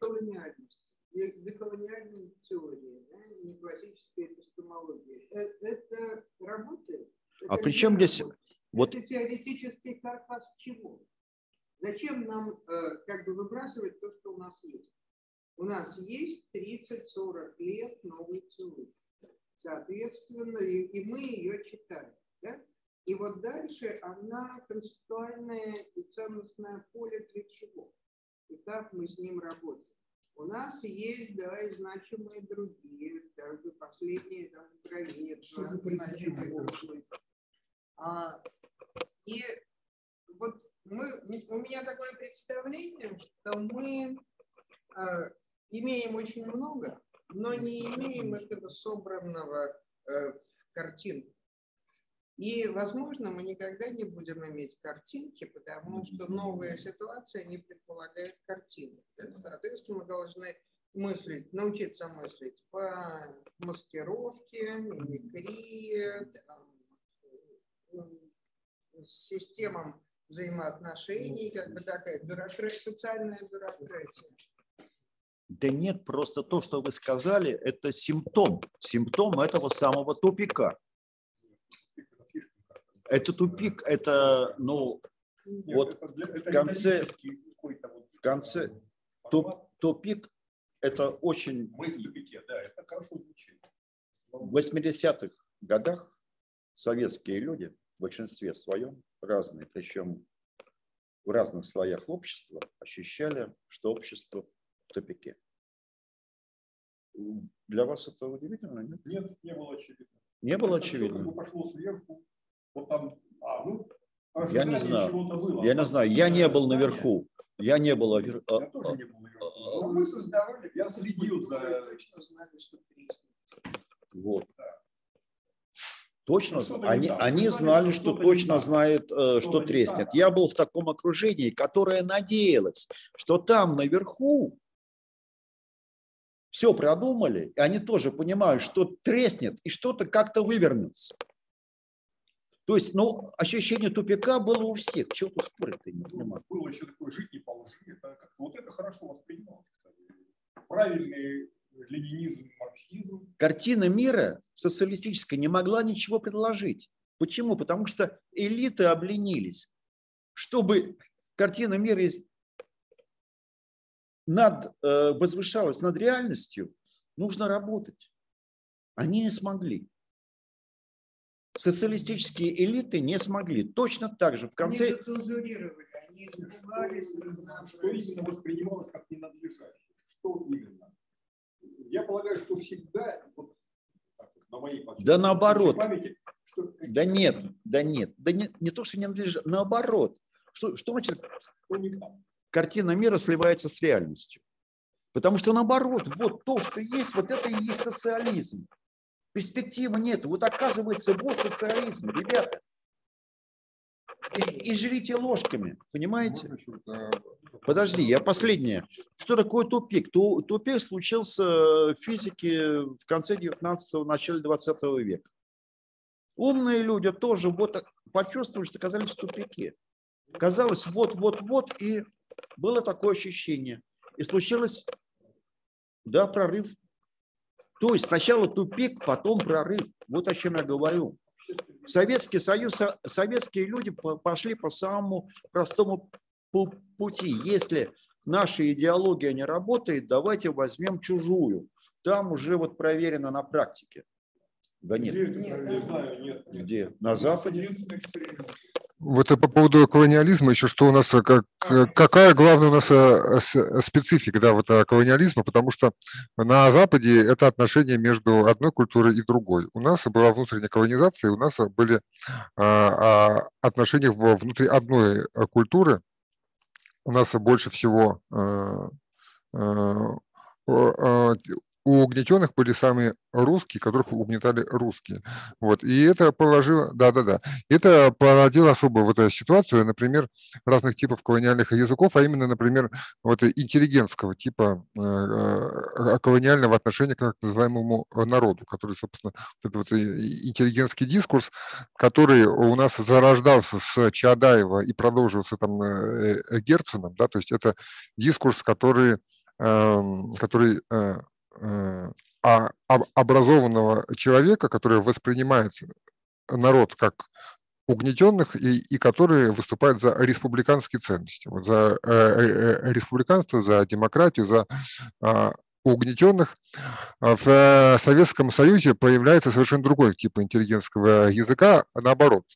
Он, он такой, он, нет, это, нет, это я, я, я говорю про э, диссидентских, э, диссидентских интеллигентов, которые воспринимают народ как некоторое, ну вот homo советикус, вот такой Зиновьев сформулировал этот, вот термин, да, вот. И если человек сталкивается с этим дискурсом, да, так называемый из народа, то он начинает из себя от него как бы отстраивать. И он про себя говорит, что ну я там человек простой, мне там это все не надо, но, но то, что я простой человек, это ого, это как бы правильно, это замечательно. Вот. вот то, то есть нам простым это вот все ваше не надо.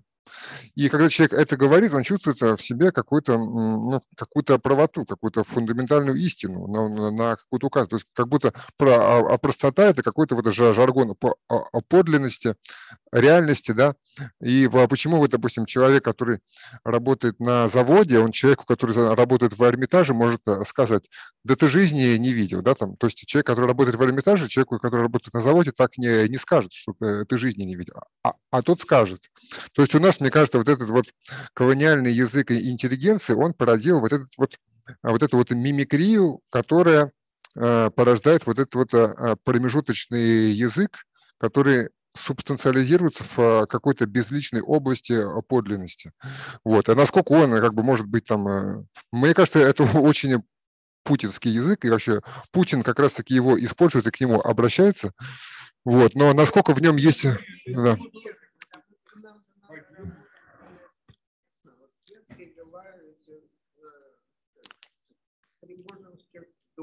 Да, Пригожинский дом. Ага.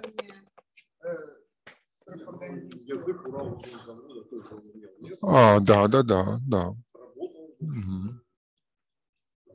Да, да, и вот этот вот язык, он-то как раз тут получается, что власть наша политическая, которая, она-то использует этот э, язык совсем не интеллигентский, а интеллигенты используют э, колониальный язык по отношению к народу, да, и с ним мы как бы выстроили определенную структуру отношений, да, что он там у нас сталинист, что он какой-то, в общем, абсолютно, особенно сейчас, да, то, что сейчас вот а, происходит, да.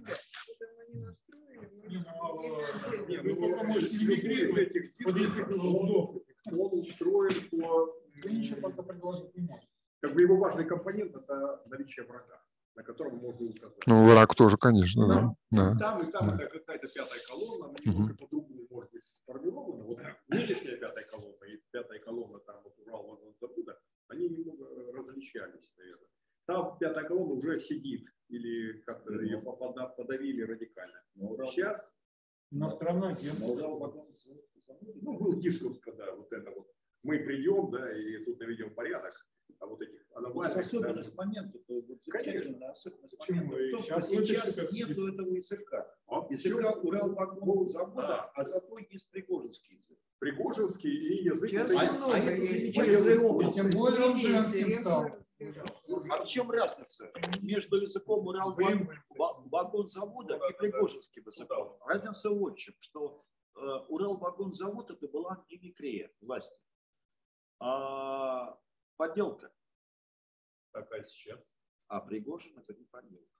А военные, а, вот эти вдовы, вдовы при, мобилизованные. Э, при, пригожинский язык да. это симптом раскола элитного, понимаете? И это, если вы взыскуете кардинальные перемены, значит вы должны ставить на Пригожина и всячески его поддерживать. Нет, да. Почему? А как это? Я думаю, Нет. Потому что Кадырова, Пригожина, А вы при власти к Беглову, да, я помню, как вы там самое. Нет, еще язык есть от той же самой пятой колонны, там белых пальто, которые вот, хорошие русские, да, ну, например. Там есть какие-то голоса, которые, мне кажется, меняемые и заслуживают поддержки. Да, в общем-то, тут э, да, да, должен появиться такой язык, который как бы сместит некоторые ну, вот, республиканские архетипы с вот этим вот темой языка, темой языком, который создался э, в, в результате интеллигентского колониализма. Вот. Ну, пока не очень понятно, как, как, это, как это возможно. Ну, а тут, а, тут имеется в виду вот что. Имеется в виду, что во Франции, например, а, да, вот национализм во Франции, он позволяет что делать? Он позволяет сказать французскому народу, что мы французский народ, и мы требуем прав именем народа. У нас такой национализм республиканский не сложился. У нас сложился национализм как бы шовинизма и национальной гордости. Вот. Но это место, оно должно быть... Что? Вам э, власть Кремль сказала, что у нас сложился такой язык. Да?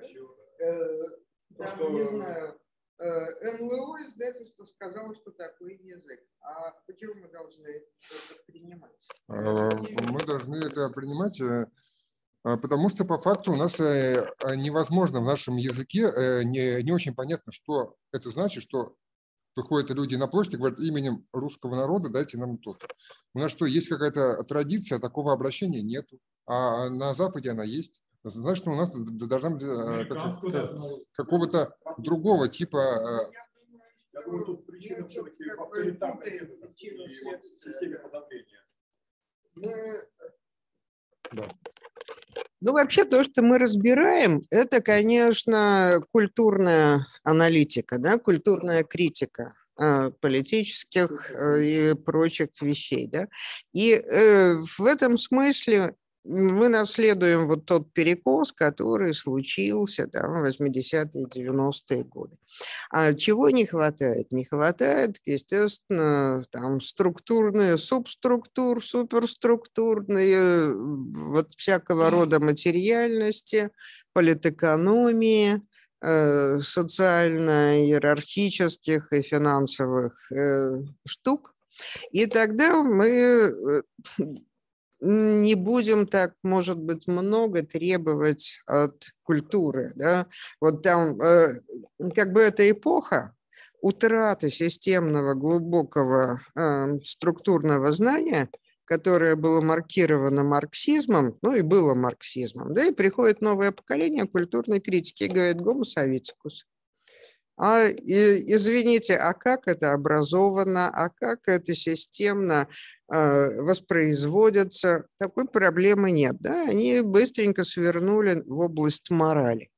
И да, с одной стороны, есть очень много открытий в области вот, э, культурного кода, когнитивности, эмоциональности, но есть и очень много утраченного в смысле вот, э, э системного, э, системной связанности э, общества, политики и так далее.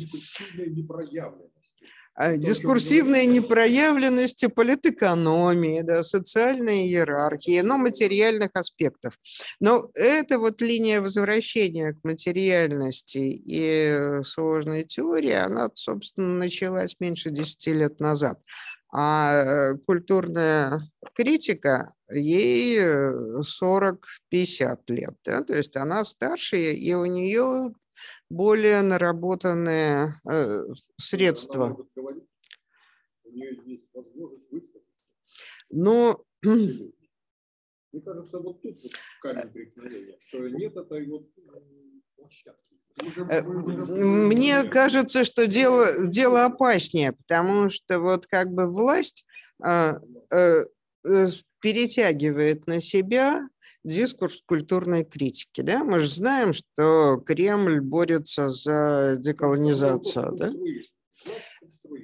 Э, да, а, и им ничего за это нету, потому что у культурной критики есть, э, ну, как бы вырезан большой кусок, где, собственно, э, практическая часть этой власти осуществляется, да, практическая, там, юридическая и так далее. А вот можно на прямой вопрос? Я сначала обращаюсь. Так что же, вы, какое сообщество может властному языку а, свой язык, так сказать, создать? Какое, вы сказали, сообщество есть, которое как бы оппозиционное? А, есть властный язык в России, да? Вот какое сообщество? Мне кажется, вы не доверяете себе.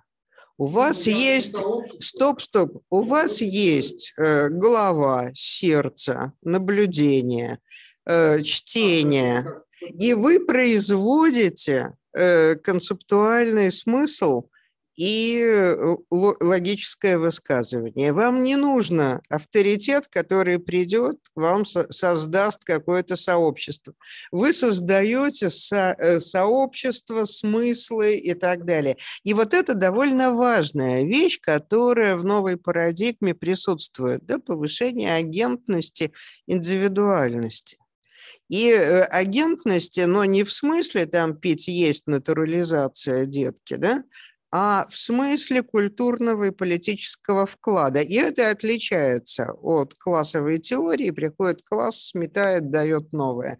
И это отличает от, от, отличается от традиционной концепции индивида, который э, натурально укоренен и сам себя не видит, потому что он сам себе дан как уже готовый индивид. Но все равно какое-то сообщество должно быть который язык переизобретет. Например, вот хотел поставить у вас. Ну так а вы что делаете? Ну, а, в языке ФАС? Нет. А, именно аббревиатура. Феминистская, антивоенная, ну, я считаю, что феминистское антивоенное сопротивление – это довольно интересный, интересный дискурс сопротивления, очень сильный, с большой традицией, очень разнообразный. Но э, я бы взяла более глобально. Меня интересует э, э, как бы агентность, вот куль, культурной критики вот этого Э, левого дискурса различия. Я предполагаю, что культура различия, вот этого э, разные антологии, разные культурные коды, разные культурные каноны, вот это составляет, ну, как бы ядро нашего исторического момента. И оно должно быть... Быстро разрушается властным языком. И вот вокруг этой ценности существует новая политическая матрица. И, э, и даже то, что она существует, современная матрица существует агрессивно именно против множественности и различия, это тоже доказывает то же самое?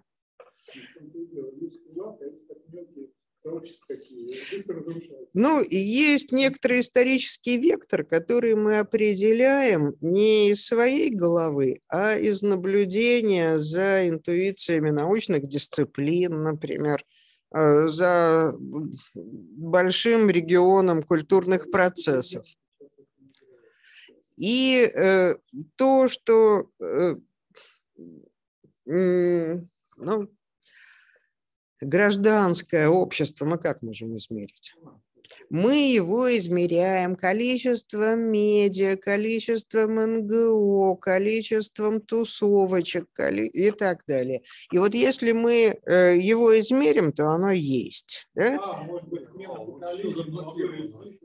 А, нет, подождите, оно есть как уже созданная данность. А то, что оно не очень видно, ну, во-первых, а, оно не заблокировано, оно существует, но только оно не в медийном поле. И оно, а, ну так... А если не в медийном, то нет. Что значит быть сегодня? А вот э, мне кажется, что э, медийное поле не плоское, ровное, большое. Да? Оно состоит из э, таких малых кластеров, проблема которых не э, заполировать общее поле, а найти между собой кротовые норы. И эта проблема, да, это большая проблема логическая, потому что она борется с очень э, плоским таким таблоидом, да, другой ну да, логистично. Проблема вот этих чтецов, которые читают старые там марксистские, марксистские, куча литературы. И все это вот из прошлого. Вот этот язык, все. И властный язык очень хорошо это вписывает. А это язык перепрочитывается. Марина, вы... Э, мы уже завершаем. Да. А, А там же говорили, какое-то резюме можно. Да, Каждому да, можно. А можно тогда по пару слов?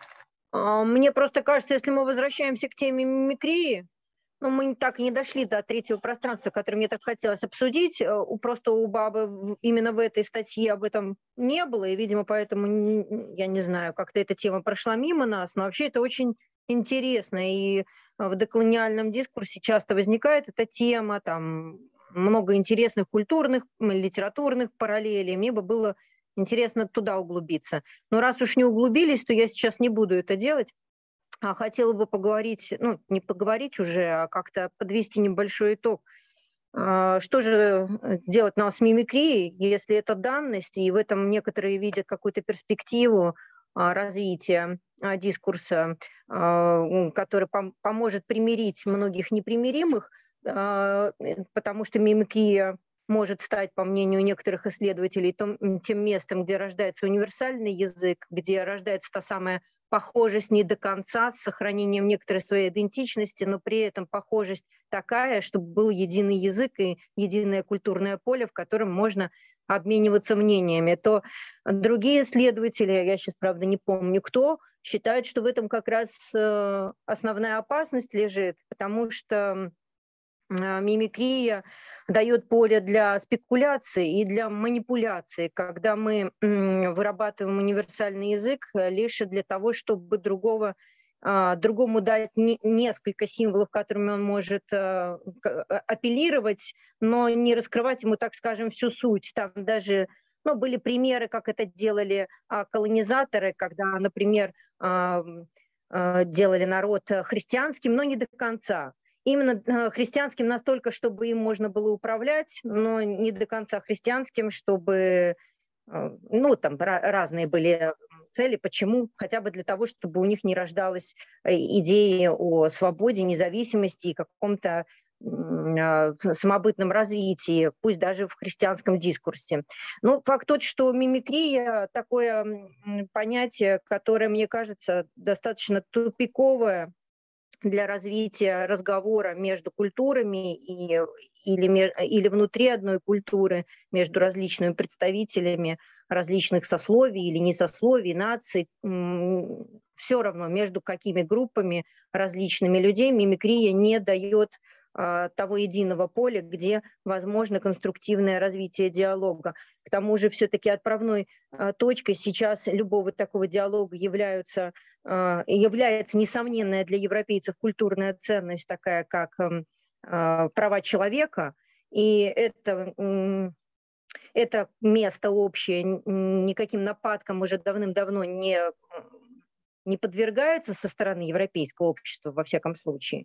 Но Э, мы видим на практике, что именно это общее место приводит э, к э, коллапсу в некоторых местах, например, к гибели некоторых культур, таких как некоторые африканские государства, в которых культура погибает и культурная идентичность исчезает именно из-за того, что там навязываются права человека. С одной стороны, и, и, и тут возникает у европейского общества вопрос, а что же делать? А, оставить им их людоедские законы и, соответственно, их идентичность, их возможность развиваться и, и продвинуться от первобытного менталитета к цивилизованному самостоятельно?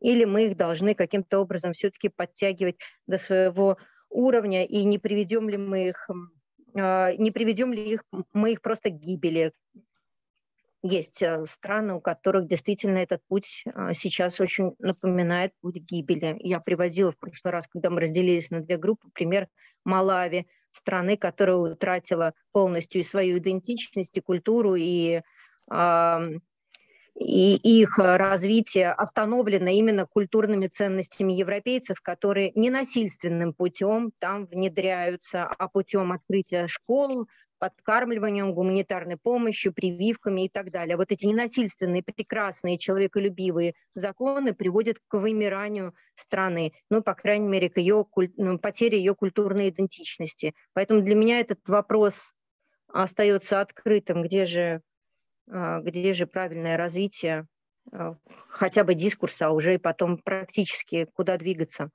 Ну вот, и я поэтому так возлагала много надежд на этот самое третье пространственное его обсуждение, что же это такое и какие у него могут быть перспективы в этом вопросе. Ну вот все. Так. А, э, Марина, может быть, вы нам скажете, в, какой статье эти третьи пространства, и мы их почитаем?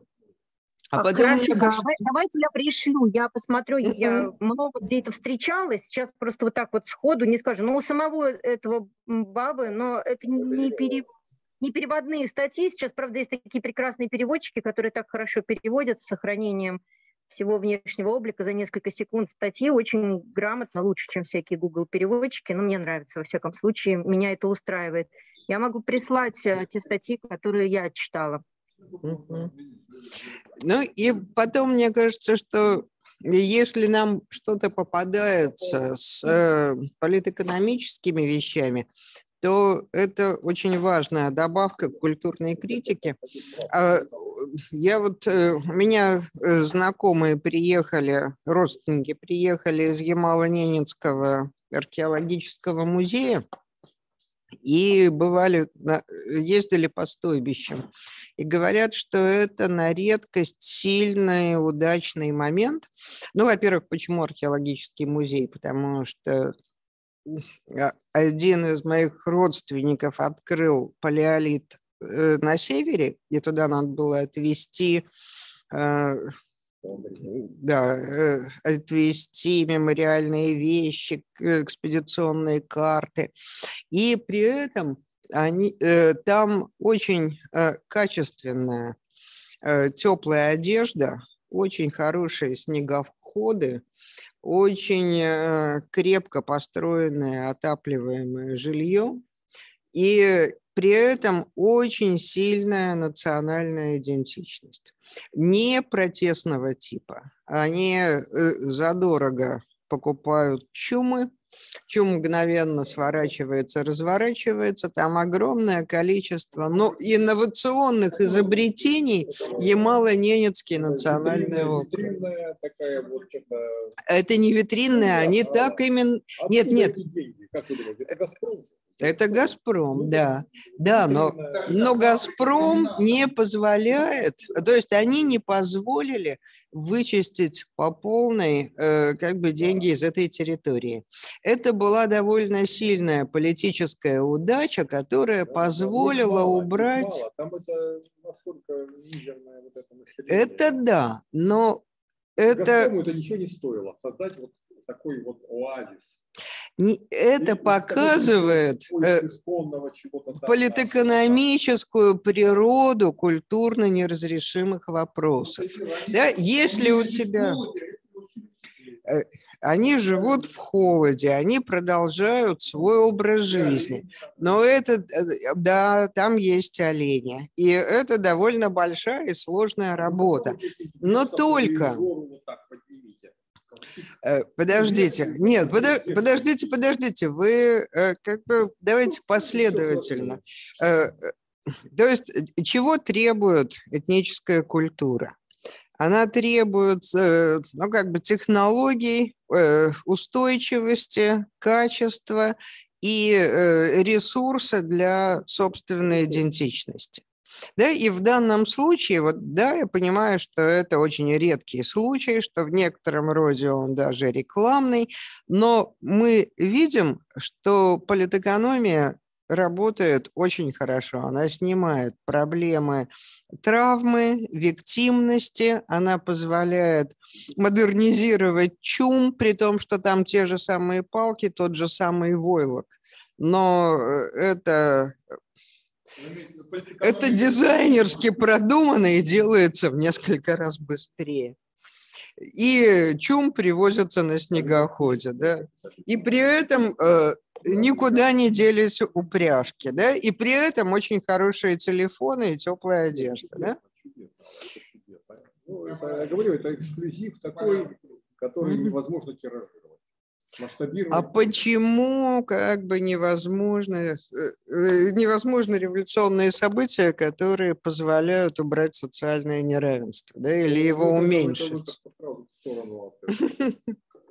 кейса, туда, где мне кажется, на сегодня поле не паханое просто. Вот.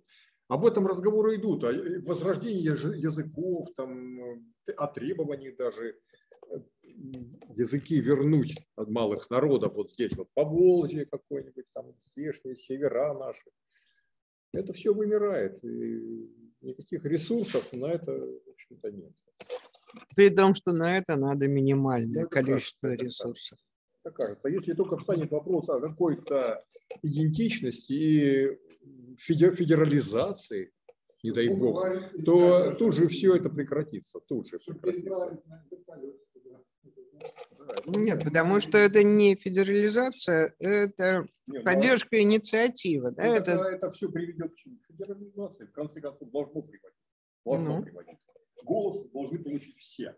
Все. Ну да, а где проблема? Где проблема? А Проблема в том, что на федерализация уровне федерализации Нет, перехват- федерализация Ну ладно. Так оно же рухнет. скоро. А, ну вот когда рухнет, тогда и Оно ж- Если позволите вернуться к фундаментальному философскому вопросу. Ну, э, давайте сейчас посмотрим, мы закрываем или даем возможность Александру про- произнести длинную, короткую речь. Короткую. Если какие-то резюме, то пусть говорит, конечно, интересно. Да, но мы же все разговоры крутились вокруг метонимии и метафоры, между прочим, да? Метонимия. А, перешли мы уже. Вот филологи придумали метафору, и они же придумали и метонимию. Метонимия. Метонимия, да. А, ну, Аристотель, видимо, тоже был филологом в каком-то смысле. Биолог. и биологом, и физиком. Но не в этом дело. Так вот, э, каким образом? Вот это случайное э, открытие филологов Ари- Аристотеля, метонимия, метафора. Вот случайно в языке обнаружили? Или это свойство самого языка? Мне кажется, что, ну, это я давно знал, что метафора – это просто выражение иер- иер- иер- иерархии бытия. То есть о различных уровнях бытия мы можем э, говорить э, с помощью метафор. Ну, социобиология, э, мы- это классический пример, мы можем э, социальные вопросы обсуждать языком биологии. Да? То- точно так же мы можем говорить о, эм, о об области молекул и атомов языком биологии. Там та же самая конкуренция. То есть филологи Вот и выживаемость. элита такая языковая, Нет. которая навязывает нам. Филологи это просто... Да. Вот с метафорой мне было все понятно. Вот метонимию куда пристроить, было неясно. Мне кажется, метонимия частный случай метафоры. Просто это по принципу А вот нет, нет, нет. Ну, они не такие глупые смежности, филологи. смежности. Все же принципиальным образом отличается. сходства, Метафора – это подобие и, сра- и сравнение. да, это такие фундаментальные категории, между прочим, А философские. здесь подобие Подобие и сравнение. А тут они придумали вот такое слово смежность. Никто не... Я не понимаю, что такое смежность. Но можно представить. э, Это части целые, вот в этом смысле, Ну, что все флаги смежность, да. И Ну так вот, они флаги. э, как написано в статье, что метонимия, э, мимикрия – это является метонимией бытия. Мимикрия является метонимией бытия. Здорово звучит, да? Вот. Так вот, как, э, в чем все же фундаментальность метонимии? Так оказывается, это связано с картиной мира. Потому что, да, да, да, да, конечно, потому что под, подра- мимикрия, подраж... что такое мимикрия? Это подражание. Мы подражаем, естественно, человек подражает картине мира, невольно подражает. Вот ему рисуют перспективу, замечательство, замечательное Царство Небесное, он подражает, он стремится подражать. Это фундаментальное свойство. Но все мы обезьянки все же, в некотором смысле. То есть мое это для себя, вот я выяснил, фундаментальность а метонимии. Да. Вы, вы на такие высокие э, метафизические абстракции сейчас э, вышли, честно говоря, что интересно, но все-таки если так по феноменологически рассудить, то метонимия и метафора, да, это, э, это, не, это намеренно неточный язык. То есть, а Э, а реальность, она тоже как бы такая извилистая, ускользающая, непонятно очень, как ее определить, да, и, собственно, отношение неточного с неточным, оно рождает и точность. И вот как раз-таки для того и нужны нам э, риторические приемы, да, потому что когда мы говорим, например, ой, ты знаешь, все люди в зале так сильно аплодировали, это одно – когда мы говорим «зал аплодировал», то есть мы говорим о метониме, то есть мы опускаем, потому что люди в зале, мы говорим «зал аплодирует», то у нас, у нас э, появляется высказывание как бы логически искаженное, потому что зал не может аплодировать, но одновременно очень цепко схватывающая действительность. И мы за счет этого как бы опускания всей логической структуры, мы испытываем от этого какое-то риторическое наслаждение, что вот мы так вот э, выразились нелогично, но от того, что мы выразились нелогично через троп, мы как раз-таки более плотно схватили реальность, чем если бы мы выразились логично. Или, например, там человек упал на скейте, и человек говорит, ну ты там, Иван, классный ты скейтер. Да, а человек логичный, он бы сказал, что ну, ну что ты говоришь, Иван ужасный скейтер, он же упал. Да, но, но тот, применив риторический прием, более плотно как бы схватил. Вот. И как это связано с, ми, с, ми, с мимикрией? То есть это значит, что туземный народ, он перенимает значение и э, материальные объекты и формы колониального а, народа, опуская и пропуская в них э, какие-то как бы звенья и, и цепочки. Ну, э, например, он берет там, например, надевает шляпу цилиндр, но не, не надевает галстук бабочка, да, то есть у него остается на, набедренная повязка. Вот мужик в набедренной повязке с цилиндром, как в каком-то вестерне, это есть как раз-таки метонимия что про, пропущен как бы э, элемент, но есть как бы элемент, который на него у, указывает. Вот, э, собственно, это, это нормально, что э, как бы эти тропы, они противостоят логическому языку. И а, обнаруживают его самого логического языка некоторые недо, Эм, ну, некоторую его ущербность, а художественный язык, он наоборот. Он, он как раз-таки за счет своей нелогичности, он что-то определяет. Вот. Но, но, но, да, да, да. Вот. Надо отказываться вот от этих разговоров, что это нелогично, а логично. Это вполне логично. А я, э, другая логика. Что именно? Александр, другая. А? Я говорю, что э, если с, с точки зрения логики нельзя сказать «зал аплодирует». Почему? Потому что, ну, ну, потому что зал Почему? Это, Слова потому многозначны. Ты... не может аплодировать. А, а, можно сказать, люди в зале аплодируют. Вот это правильно. А метонимия – это когда мы убираем. Я совершенно, да, я понимаю, что ты говоришь. Я понимаю прекрасно. Но так вот, э, это логика Аристотеля, логика значений. Когда почему-то считается, что слово «зал» имеет одно значение, и оно вполне определенное. Это не свойственно живым словам. В принципе, если ты читаешь Платона, а потом читаешь Аристотеля, это две огромадные разницы. Две огромадные разницы. Вот платоновская логика, э, Платон э, относился к речи, к словам, как к словам, многозначным, как к символам. Поэтому трудно воспринимаем, поскольку возможно многозначные трактовки. А у Аристотеля все гораздо, ну, слушай, я не хочу сказать, да, по суше. По... Аристотель куда более феноменологичен и внимательный к действительности. Потому что Платон это действительность э, я не знаю, что такое действительность, но ну, в смысле, видно, реальность, да. Он пишет, исходя из наблюдений за жизнью. А да. потом пишет, исходя из наблюдений за структурой понятия. Ну, это, да, он, он, он, он такого это слова не знал. и да. Аристотель с Сократом сравнивать, да, давайте который ничего будем. не писал. Они писали. Я просто речь, последнее, что хочу подчеркнуть, что э, мимикрия является метонимией бытия, означает частичность все же. Мы, не, мы подражаем, но мы не всегда подражаем. Но мы все при подражании не схватываем, да? Ладненько, всем спасибо. Ну, что Всплыли немножко, но зато весело. Значит, ждем следующих текстиков, идей, предложений. До свидания.